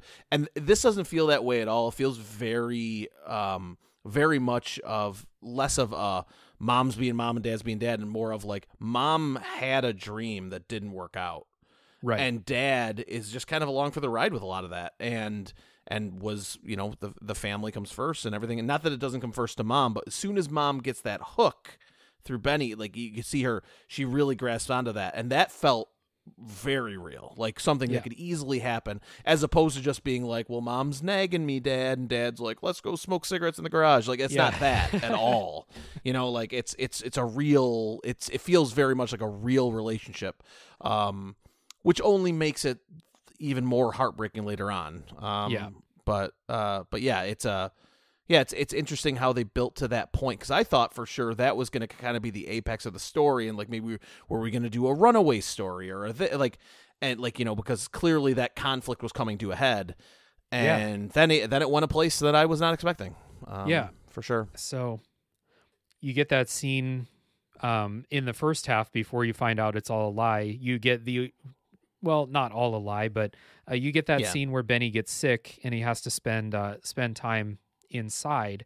And um, I don't know. I obviously I didn't read into this at all. I had uh, like when I was a kid, I had mono, so I missed school for Mhm. uh, an extended time. Uh, Yep. And this just kind of was like, oh yeah, you know, this happens. Sometimes this Yeah, happens. every every Yeah. kid goes through that. Yeah, I I remember I got I got chicken pox. It was like the I was in like the fourth grade. It was like the first day of summer vacation. I got chicken pox. It was like the Oh, next two weeks. You know what I mean? It's like motherfucker. I'm sure I didn't say that. Then well, I don't know. I was I'm pretty foul mouthed as it is, but like, um, but yeah, no, it's just one of those things. Like like like oh, I'd rather be doing anything else than this, but I have to stay in here and I have to be away. Like yeah, that that's a very normal kid feeling. That kind of opening to the Princess Bride, where the kid's just laying in bed and Grandpa comes over to read a story. You know, like Mhm. it's that's I think very relatable. Um, Yeah. So yeah, I didn't I didn't I didn't see that going down that branching path either. Either it just seemed like a yeah, the kids get sick. That's what they do. Yeah, but it just it just turns out that that's the point where the lie kind of starts. Yeah. uh, where Yeah. like in the the first version of the story, Benny rediscovers his love of drawing and gets better, becomes a famous artist. We've talked about that.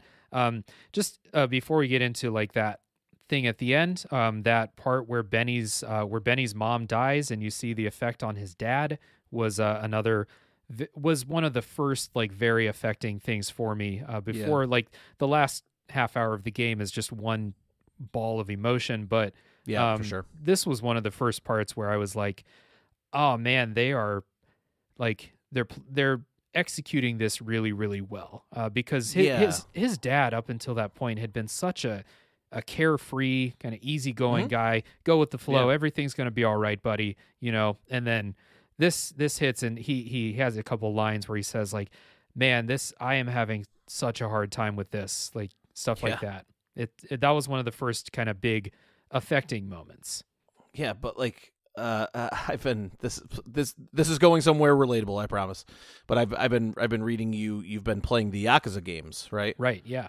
Yeah. So like so like how is grief represented in the Yakuza games? Like no, yeah, screaming at the that, sky, and then Kiryu and then beats the, beat the shit out of everybody. somebody. Yeah, Exactly. exactly. So like so like relatable grief in video games is not something that is um that that's done often and when it's done often it's not even necessarily done what I would consider particularly well. There's certain really uh great aspects or really believable aspects of it, but they normally turn into other things in video games, right? Like a revenge tale or like a Mhm. uh, or like a, or like a, a quest for meaning or even even like in a game that I think pulls off grief really well, which is Brothers: A Tale of Two Sons. Like Yeah. even that game, like you're wandering through a mystical landscape.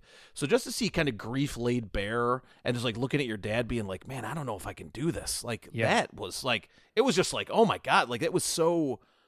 It, to anybody who's ever experienced grief, which we all most likely have, like it that that's that's real. Like that Yeah. felt real. And having that, and again, not bringing it just back to the mechanics of the game, but having like being the kid watching your dad go through, you kind of flipped it on itself in a way you, that you don't normally see. That was it was something. It really, Mm-hmm. like you said, that was the first, not the first time, but that was one of the one of the first major times you're like, whoa, this is like this is heavy in the right way. I think. Yeah. Um. And then a lot and a lot of games fumble that because it's really hard to do. Is I'm not criticizing them. It's just not. It's much easier to go the yakuza route. You're like, oh, my fake mob dad died, so I'm gonna go beat the shit out of everybody in the way. You know what I Yeah. mean? Throw a guy off the roof of a building because Mhm. because yakuza. You know, it's it's like uh, this this is the counterpoint to that, and it's just it was so well done. And not to jump too far ahead at once, but like it continues that that process for me of taking these incredibly difficult things and handling them in a way that you just and and, and while handling them delicately while also not handling them with kid gloves and that is Right. like I, I don't know how you do that um i'm still kind of amazed at, at the way i feel about that story none of it none of it felt cheap it all felt earned in a lot of ways so And like this scene we're talking about with uh, his mom dying and the effect on his dad, this is a very short scene. It, Mhm.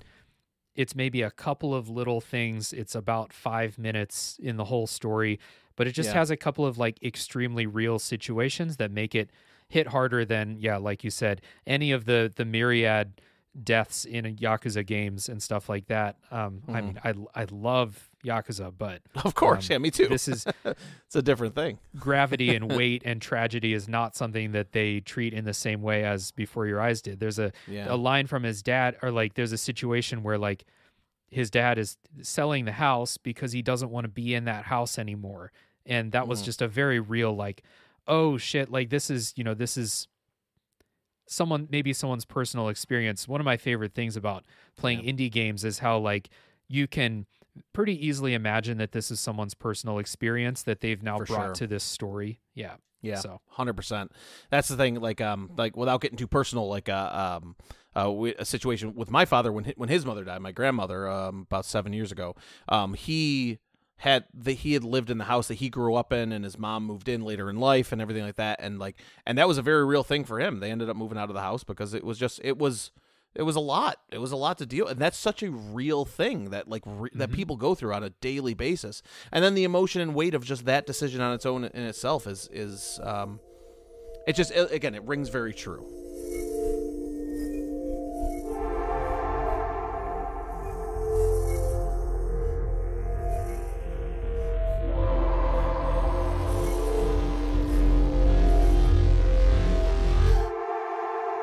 So yeah, that that part with dad um, kind of finishes, and it's a pretty quick um, run to this this first kind of like end of the you know the live version of the story when Benny gets famous. He meets his Mm. um, he meets Chloe again.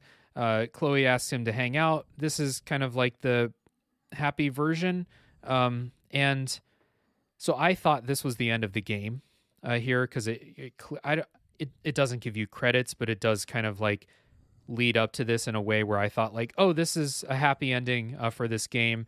Benny went Yeah. through normal personal tragedies that we all experience. Now this game is over. That was an interesting experience. Uh, it would have been enough for me, um, I think. And uh, this yeah, is probably for me too. Yeah. I think this. So after this part, and this is before the seagulls start screaming at you, uh, you get Yeah. to kind of recount the story a little bit. So, um, like the the ferryman's like rehearsing the story for the the gatekeeper, and the Yeah. the ferryman kind of says, you know, like. Um, uh, Benny was a kid who like enjoyed piano or uh, was forced to play piano, and you get to pick kind of your version of the story. Um, yeah.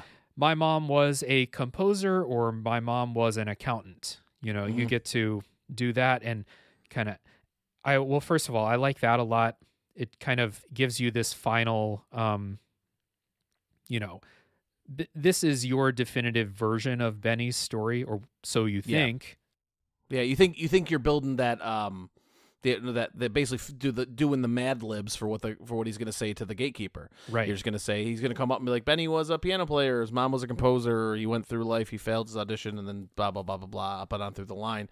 And I thought that too. I thought we were like approaching the end. Here we go. And then that goes off the rails. Yeah. Um, Well, so eh, like you find out the seagulls start shrieking and you find out that um, the seagulls are former souls who tried to lie about their lives and now Mhm. he he calls them like lie gulls or lie birds yeah, or- like I think it, I think it was oh god, I just played it. I can't remember. Ligels sounds Anyway. sounds right, but I'm not sure. that's what they are they're they're yelling because they've picked up that you're lying about this and so like Yeah. but just to backtrack a few steps now i kind of realized that like i wanted to make the most grandiose story for the gatekeeper about benny's life and so Mhm.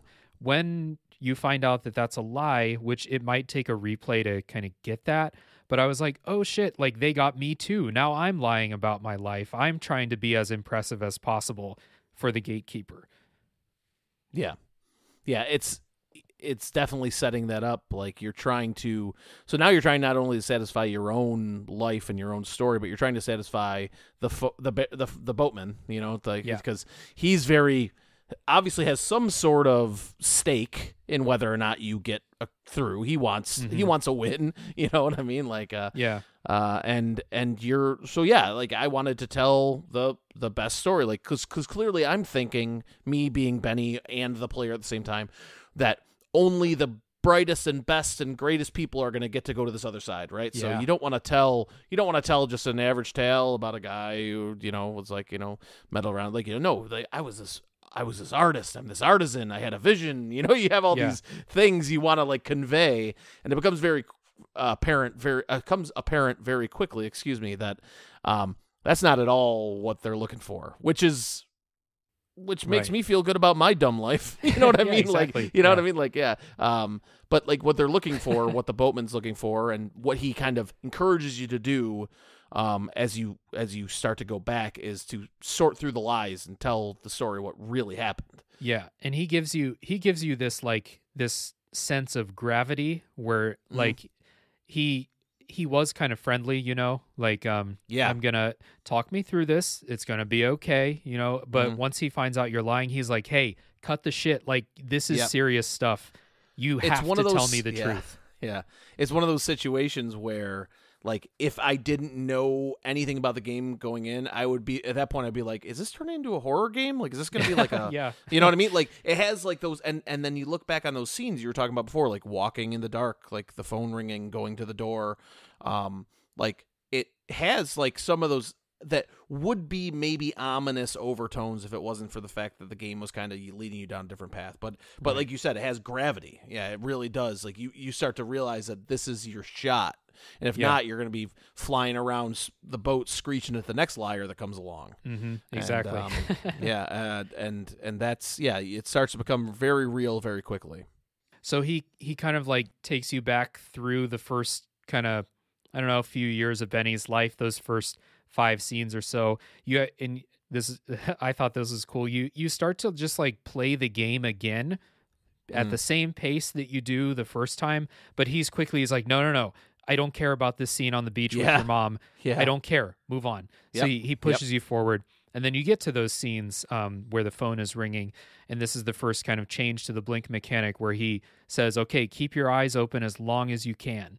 And Yeah. uh, if you blink, he's like, come on, dude, eyes open. That- keep them open. This is important. Yeah. Exactly. Yeah. You know, we need to know what happened here. You know, you can't forget this. yeah. Yeah, exactly. So there's there's two of those scenes. There's the one where the phone is ringing and you find out that um, your grandpa had died. Uh, the one that mom was really excited about him visiting um, Yeah. to show off uh, Benny's piano playing. I think uh, Yeah. maybe like a actually I think both of these. So the other one is uh, you find out that uh, your your cat had some kittens and then it looks like coyotes or something have killed the kittens outside.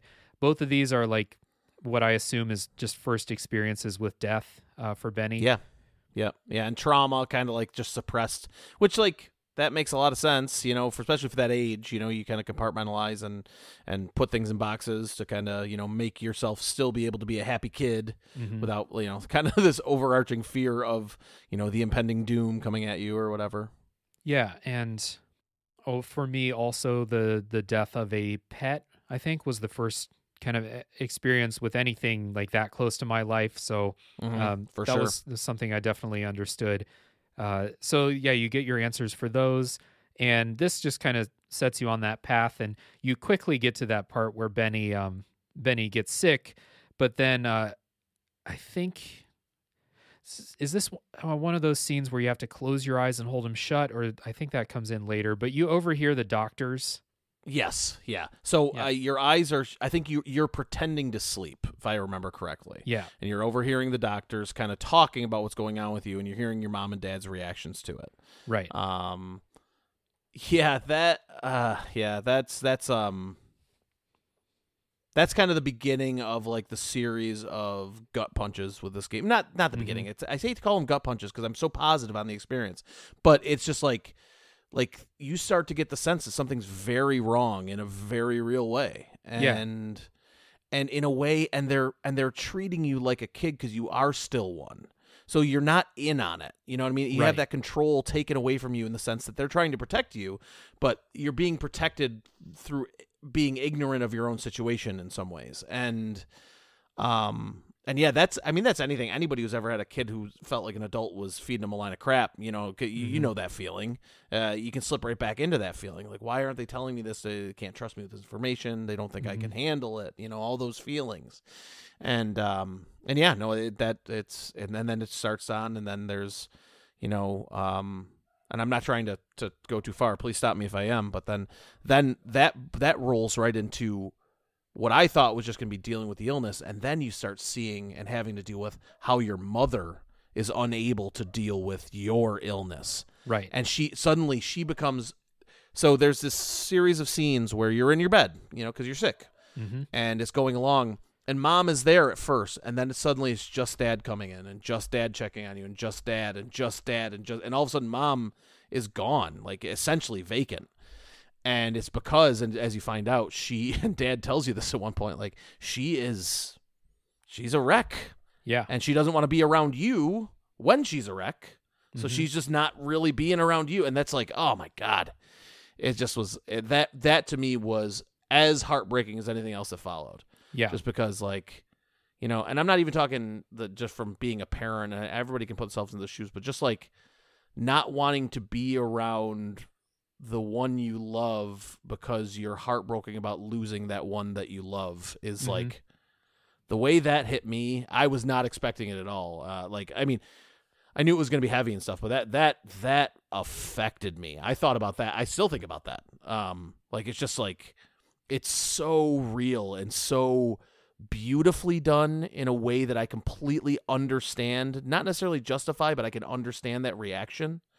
Um, yeah, that that whole segment, that whole series, basically from then to the end, I could I will talk, I could talk about hour, uh, for hours about this. I'm going to shut up soon, I promise. But like, it's just, it's like it, it's one scene after another that just kind of adds another layer to this unarguably horrible situation Yeah. that nobody in that story is in control over. It's just it just is. It just Mhm. is happening and each individual is dealing with it in their own way and all the way they the way that they show each individual dealing with it including Benny themselves it, it's all so realistic to me um t- for being a potential path that anybody could take while deal dealing with this immense level of grief.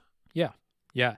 it's super. Um, it's just super believable in every way. These are Yeah. it- you. You might play this game or you know see this situation on a TV show or something like that. You might think to yourself like, you know, it's it's it's it's really it's horrible that mom won't go in the room and you know see her sick uh, her sick son, but right. it's it's definitely not something that you can say like I would definitely not do that. Like that's that's not Right. a realistic. This is a very uh normal thing and um Yeah. I like how you said uh like so so they are treating you like a kid and I that kind of unlocked this kind of memory. Like all of these scenes where you're getting dialogue and information about how people are handling it they all happen with this mechanic where benny closes his eyes and like you have to keep, close your eyes and keep your eyes shut.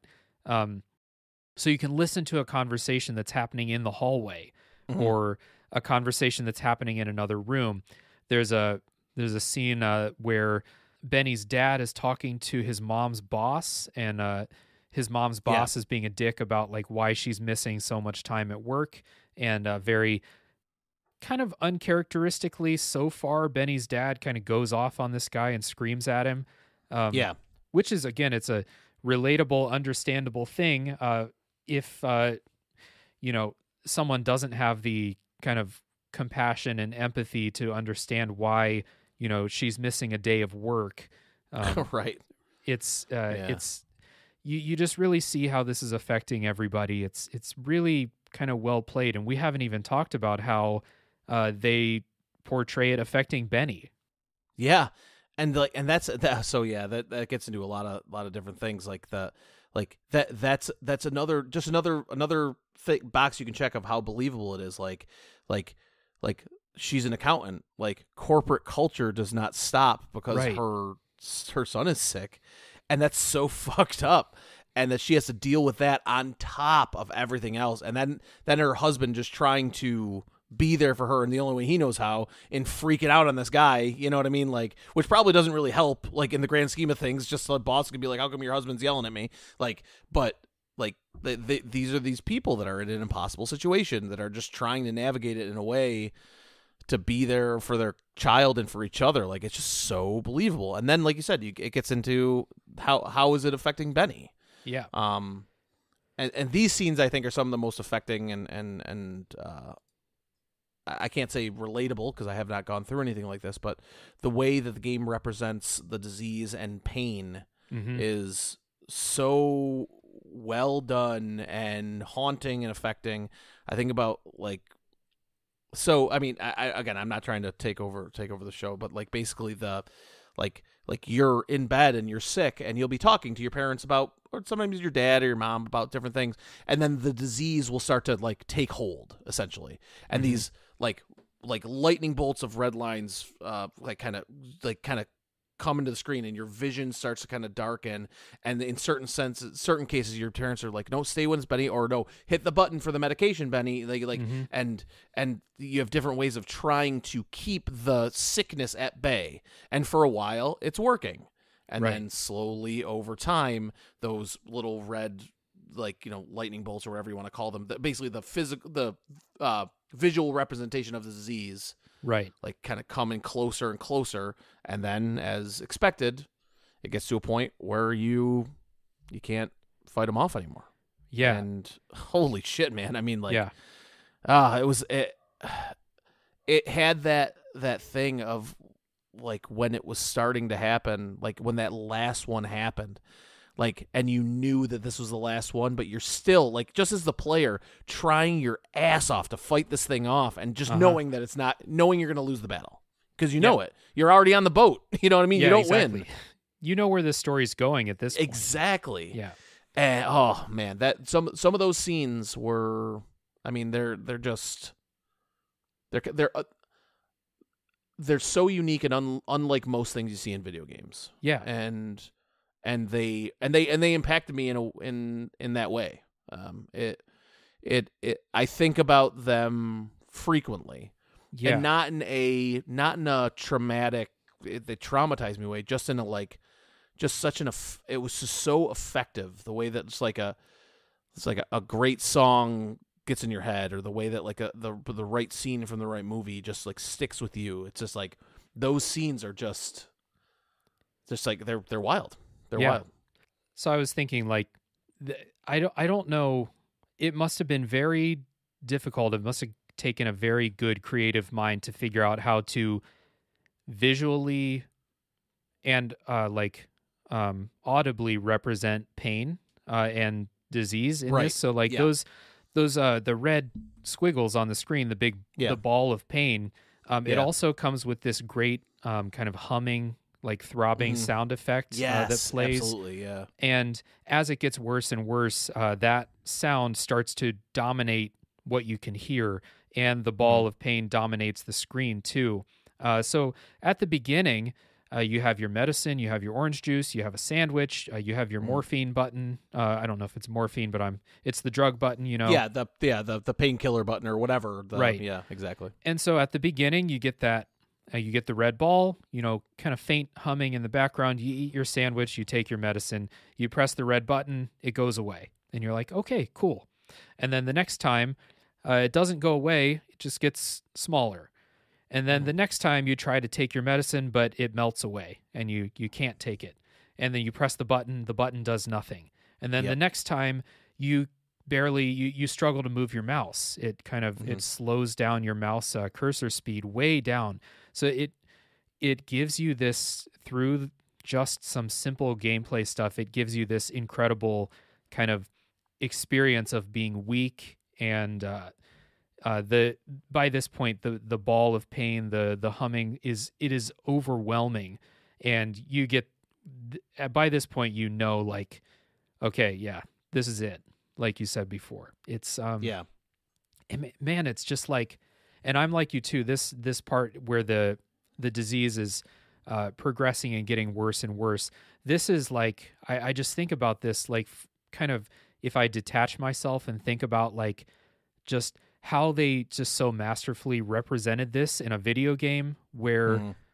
you're you're still blinking and stuff you're still doing that so you're still connected to it but it they they really thought about what is the best way to represent this in all uh inputs visually with sound it's it's Yeah. really really good and it's like you get to a point here where i start crying both times i played this Yeah. uh and what happens when you start crying is you blink uh, Yep. to try to get tears out of your eyes, and uh, that just just reinforces this. And uh, sucks to say, this is a point where my my webcam stopped functioning at one time. oh but I can imagine. I can't remember how the game sets it up, but I can imagine a situation, and I got the full impact of this, even with even with some. This is a horrible time to exit out and go into the calibration screen, right? Um, but right yeah that happened the first time I was playing. The second time, it just kind of registered my blinks three out of every four times, so I didn't have to Mhm. recalibrate. But I can imagine a possible scene where things start to speed up. You're going through the scenes quickly, more quickly, because you're blinking more often. Uh, because I was crying during this scene. It- It's uh, yeah it's crazy. Yeah, it's the. I was sitting at the I was sitting at the table that I was talking about upstairs, and and just like I was as much of a wreck as I can remember a video game making me. Um, it it was it was hitting every emotional center that I had. Um, and and it's all because of the reasons you just said. And I'm not just, I'm not just going to restate everything you just said because it is the visual, the sound, the the move, the, the controls, the all of it. But just that it took the control away. And this Mhm. entire game is about controlling it with your eyes, right? You blink, you look, you blink, you look, you blink. And it's amazing how great that works. Like a lot of the time, even though when if you have some technical difficulties, like, wow, it really can see my blinking and it really reacts to me and I'm moving things along and I'm doing and I'm this. And then to have all that control just rested away. Um, it's a it's a it's a it's a master stroke of really effective and emotional storytelling. And again, I use I use this term before, and I'm not trying to repeat myself. It's just it just it earns it in a way that most games just don't. It just it it felt so real. Like it just it it's hard to explain. Um, and I don't want to talk in hyperbole. It's just, but it's just, it's so strong, and the connection you have is just so there that describing it, even as I think well as we're doing it now, it doesn't do that that feeling justice of when you're going through it because like it because it was I was tearing up, I was on the verge of crying, crying at some point. The first time I played through it, I was like I was, you know, on the verge of sobbing. I was a wreck. I was a wreck, and mm-hmm. um and it felt just so potent and uh and it, it's an absolute testament to the way the game's designed because yeah. you're not even the most effective books and movies that I've read and watched didn't get me to this level of feeling like I was there, you know, and and that that is something special to me for sure. Yeah. This is something where like only video games can give this level of like immersion is a stupid buzzword that like every open sure. world game is called yeah. immersive at this point. Yeah, some yeah. of them some of them feel that way, but this this part right here, this is immersion. Like yeah. it's coming at you from all angles. It is uh it's just a like you said, it's a testament to game design, the thought that went behind this, like everything that's happening is serving this like single emotional moment that's happening in the sure. story. Yep. Everything. Yep. And it builds to it in such a way that that it's it just it just compounds its effectiveness as as you're building up to that scene. Mm-hmm. Um yeah, and then when and then when you you know your your mom gives you the typewriter, right? And you got to type out the story of your life, and mm-hmm. you so you write the story of all the things you're gonna do, and that kind of ends up being the story that you told the boatman, right? You know, and um and and just this work of fiction that is your life, because essentially you're just this kid whose life's being taken from you, completely yep. out of control, no control at all. Everything's being taken from you, and and there's nothing you can do about it besides go through with it, and. Mm-hmm that just it just it just hit it just hit me like a mack truck in the exact way that they meant it to and it's something i still think about on a regular basis there's a couple of moments um, as you're working with that typewriter too where you see how this is affecting benny like be- even before you get i think this is before you even get to the part where you got the red ball of pain on the screen mm-hmm. uh, where benny starts out like you said he he writes down the fictional you know totally dream version of his life. Mm. Um, then the next time he has the typewriter out, he writes down, uh, and I wrote this quote down. He writes down, Benjamin Brynn was a loser. He didn't even try to fight the disease inside of him. He just laid down and died. And when I saw that, I was like, Jesus Christ! Like, okay, yeah, I know. Now we're seeing like, like Benny's a little kid, and this is how he feels about himself. And they, yeah, they've worked so hard throughout the game to give you this connection to Benny. You I mean, that hits really hard. I'm getting chills talking Yeah. about this right Yep. now too.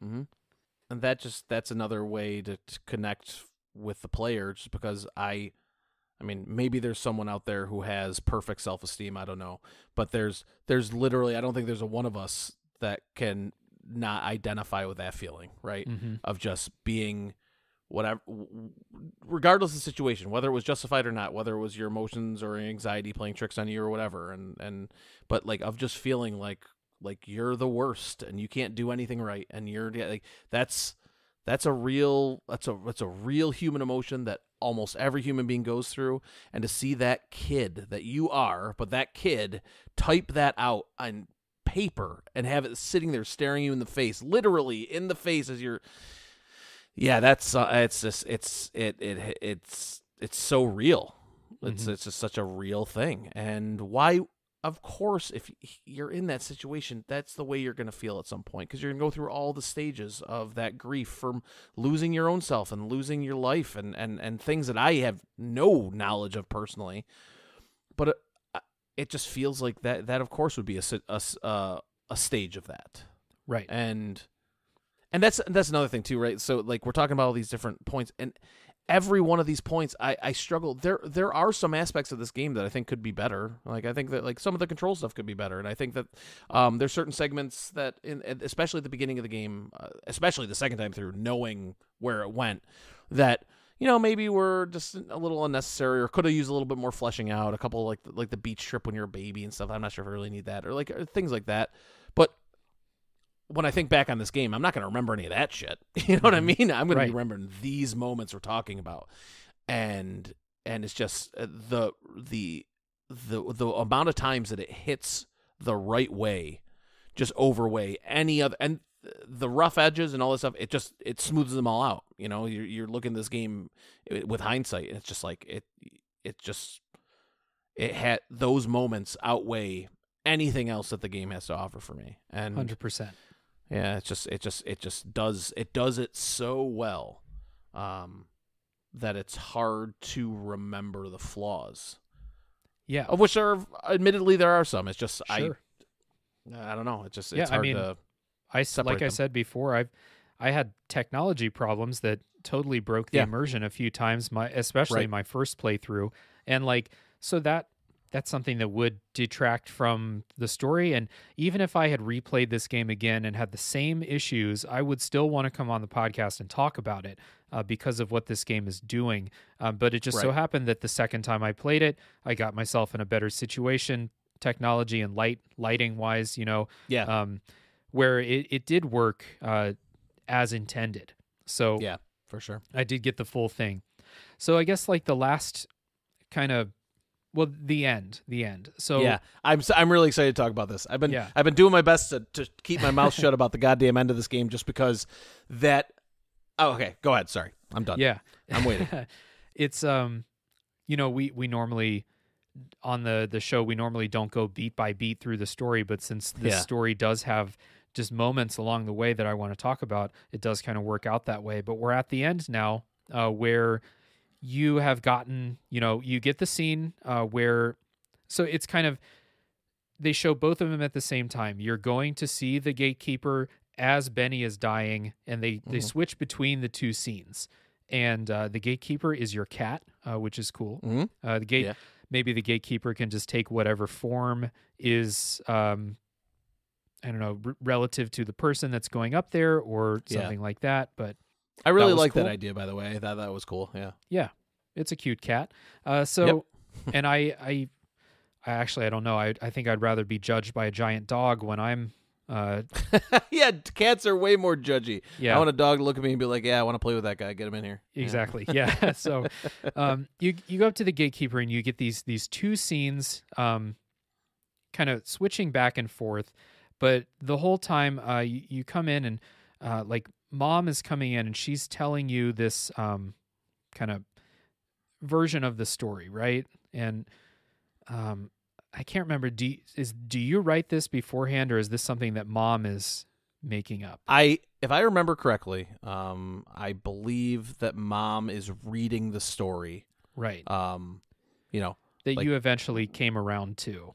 it's either came around to writing or one that she wrote for you. I can't remember, but she is reading it. That's all I can Yeah. remember. I can't. I, I'd be. I'm probably messing up some of the minor Yeah. detail there. I actually think um I in my memory I think that you actually after you're done calling Benny's done calling himself a loser, he does write this kind of um recounting of his life here and mom comes in and reads it.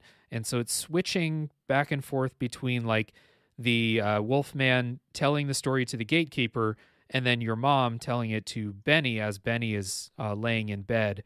Um, Mm. And this is like you know the ball of pain thing caught me emotionally in a big way this is like the okay the waterworks are on i am like tears rolling down my face. Yeah, you're while primed. Yeah, this is a- extremely powerful uh voiceover here it's it's uh man it it's incredible Mm.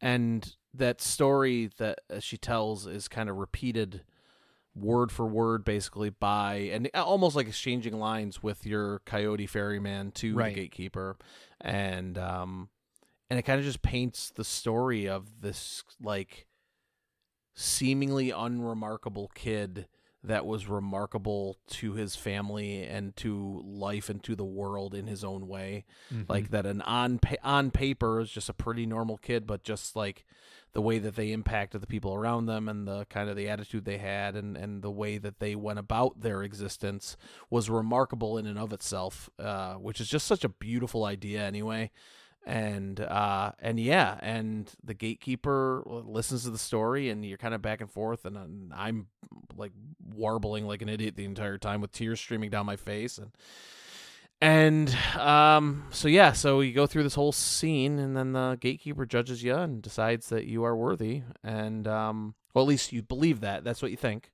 um at least the way it's conveyed and the game tells you to close your eyes yeah. and and and did you peek the first time?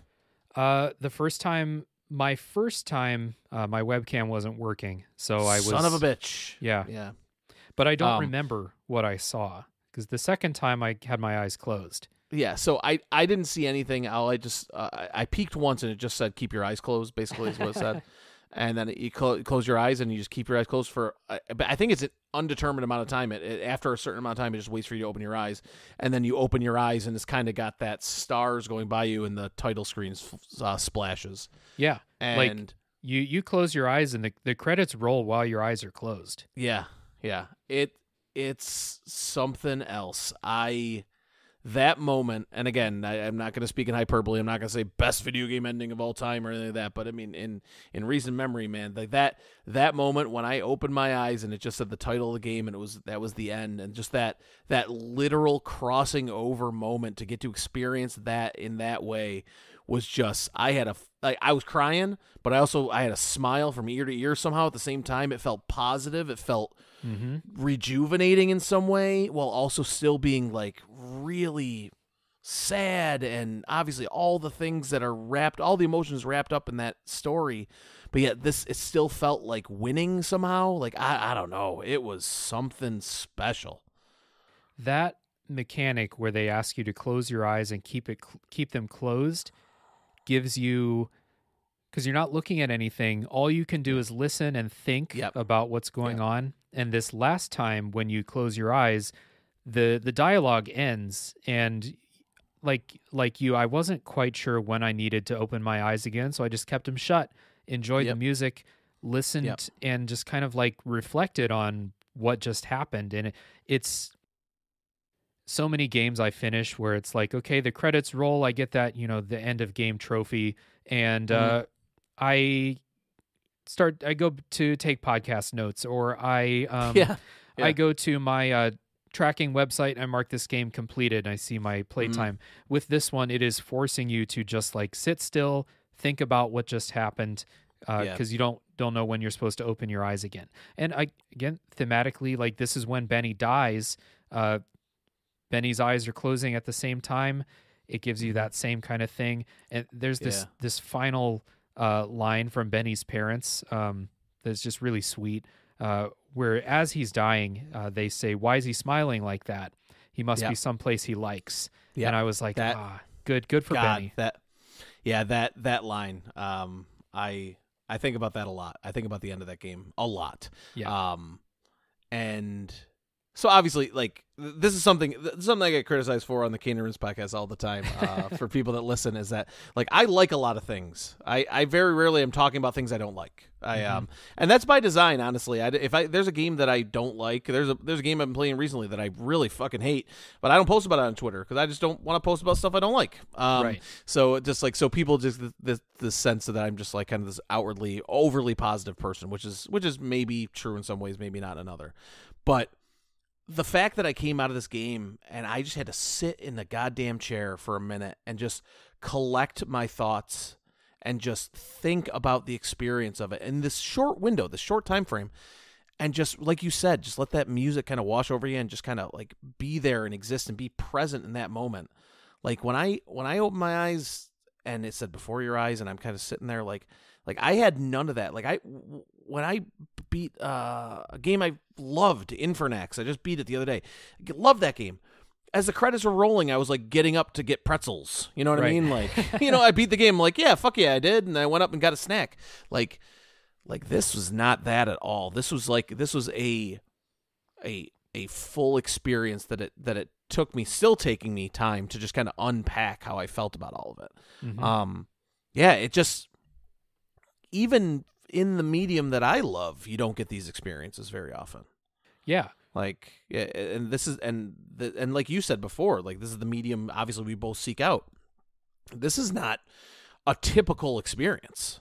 No, Um, definitely uh, like not. uh, fa- very far from it and um and yeah i just i i still th- i think about the ending of that game and I, I just recently read and i'm pissed at myself because I gave it my number two game of the year last year uh, and I put some anime bullshit over it which i still love by the way. Um but um but yeah just i was thinking about the ending of this game and just like wow like like that was the mo like one of the most uh like emotionally affecting moments I've ever had in any form of pop culture, and it just like it just it, there's nothing quite like it that I've experienced. Yep. Yep. It's uh it's it's a totally unique thing. It's something that only a game could give and it's something that only Yeah. a very special game uh, could give you even when you're talking about uh video games as a whole. And so like like like I said before like some of my favorite games ever are you know like uh Bloodborne is one of my favorite games ever. The Dark Souls Mhm. series as a whole is just it, I hold those up so high in the world of video games, but I mean, this is before your eyes is something that I'm not not to say it's better, but it's a it's a completely unique experience that no game has given me before. Even games that Absolutely. even games that I play and get emotional while playing, like uh, uh Mhm. like NieR Automata, uh, that story Yeah, gave me so, gave me some emotions. Uh, the, the ending of that game, but this is, I mean, this is this this game is wild. How just perfectly everything fits together in two hours. Like you don't Yeah, you don't spend right? forty Yeah. hours getting to know these characters, uh, which is what some games do to give you those uh, big emotional moments. I just finished Yakuza Like a Dragon. I played Yeah. that for fifty five hours, and I it was it has a very emotional ending to it, but it's Sure. Yeah. it's it doesn't have the same emotion that Before Your Eyes does. That's that's actually it's funny because I was making the Yakuza a joke before, but you're right. Like that that ending of Yakuza Seven affected me too. Like a very emotional ending. Um, Mm-hmm. I was very attached to those characters, but a lot of the reason I was so attached to those characters was because I had spent 55, 60, whatever, however many hours getting to know. I knew everything about Ichiban, right? So like, so like, because of course I did. I spent that much time with him, and but you're right to get to this level in that amount of time i- is is it's different. It's a whole. It's a completely different thing. mm-hmm. It is. It is still a video game. It's a. It's a game that you play and experience, but it. But it's not. It's just. It's so its own thing. And that, I guess that's that's really cool too because that almost justifies the mechanic even more because we talked about it way what feels like 20 years ago when we started the show like we we talked about how that mechanic was like you know like is it going to be gimmicky is it going to be like used efficiently is it going to be something that you play for 10 minutes and they're like haha well that's neat and and it just it's none of that and to accomplish all of that in this tight package is just like it's almost kind of impossible. I, I might be ripping off Jacob Gell here by saying that. It's like it it seems an impossible task that they just just decided no, we're just gonna make it work, and it just ends up being one of the coolest experiences you can have. Like it's Mm-hmm. it's an impossible task made possible. It's just uh, it's it's it's it's pretty. It's it's an incredible thing. If you think about it Wow. that way, in the span of two hours, um, like assuming you played in one sitting, which I did my second time, which you said you Mhm. did uh, too, in the span of two hours, you go from, okay, let me check out this gimmicky blinking game to uh, having one of the most emotionally affecting things that any piece of media has ever given me. It's it's wild uh, to Yeah, think about it that that's- way. that was a much more eloquent and way fewer words than what I said, but you're absolutely right. Like, because it's just, the, yeah, it, it got from, it got from point A to point B in such an effective, tight, and emotional way that that nothing that nothing I can think of in recent memory, or even maybe in any memory, has gotten close to. Yeah. Um, and that's that's wild. I mean, it's just like that. Like, it just literally unprecedented for me personally that that something like that was able to accomplish that. hmm Yeah, man, this game, yeah, something else. There, there, like I said before, there are other games that have made me cry. There are other games Mhm, that sure. um, will make me cry uh, in the future. I'll play a couple more this year. I'm sure uh, games Yeah, affect sure. me emotionally in a way that you know a TV show just doesn't anymore. But you know, it's yeah, before your eyes is a special one, and so I think we're just continuing to repeat that at this point. So I think we should wrap this up. Um, but No, let's talk. uh, Let's let's congratulate each other on both being right for the next half an hour. yes, We are both right. This game's incredible. Yeah. Um, no, I um, uh, no, you're you're 100 percent right, and uh, and I just um, I re- I really wanted to thank you for not just asking me to be on the show, but asking me to particularly be on this show because um, as as you know, as someone who listens to Cane and Rinse, there's no way they'd let me talk this much about uh, about the moments in the game that mean this much to me. So I want to say thank you so much for letting me uh, letting me do that because it's uh, yeah, it's a it's a special one. yeah. Thanks for uh thanks for coming on the show. Thanks for agreeing. And like like i said like it's it's cra- like you and i have just connected over this experience that we had. And you are literally the only person i know who's played this game Yep, I've never talked to anybody about it. I, I, um, in fact, I sent it out on the Cane and Rinse Slack when I finished it. This game was incredible, and I got a lot of, oh yeah, I'll get to that, and I never Right. heard back from anybody again. You know, so yeah Um, exactly and you this is the kind of game that if someone did get around to playing it you would hear about it right so yeah, exactly, yeah, Yeah. So when I saw you, you, you posted something on Twitter on your game of the year uh, thing, and I was Yeah. like, I should ask Brian if he wants to talk about it because I don't know. I could do this by myself, but I want to talk to somebody about this game. you yeah. know? No, So, this game, yeah, that, it, yeah, and I, I'm really glad you did. I appreciate it very much. cool. Well, thanks for coming on uh, the show, everybody. Once again, listening. Uh, if you've made it this far, good for you. And uh, go check out Cane and Rinse. Uh, go check out uh, Brian's Twitter, and Brian's blog. Look in the uh, show notes for links to all of that stuff. And yeah, thanks for listening again. Please uh, support Tales from the Backlog in any way that you can. I appreciate it. And uh, yeah, tune in next time for the next game that comes out of the backlog.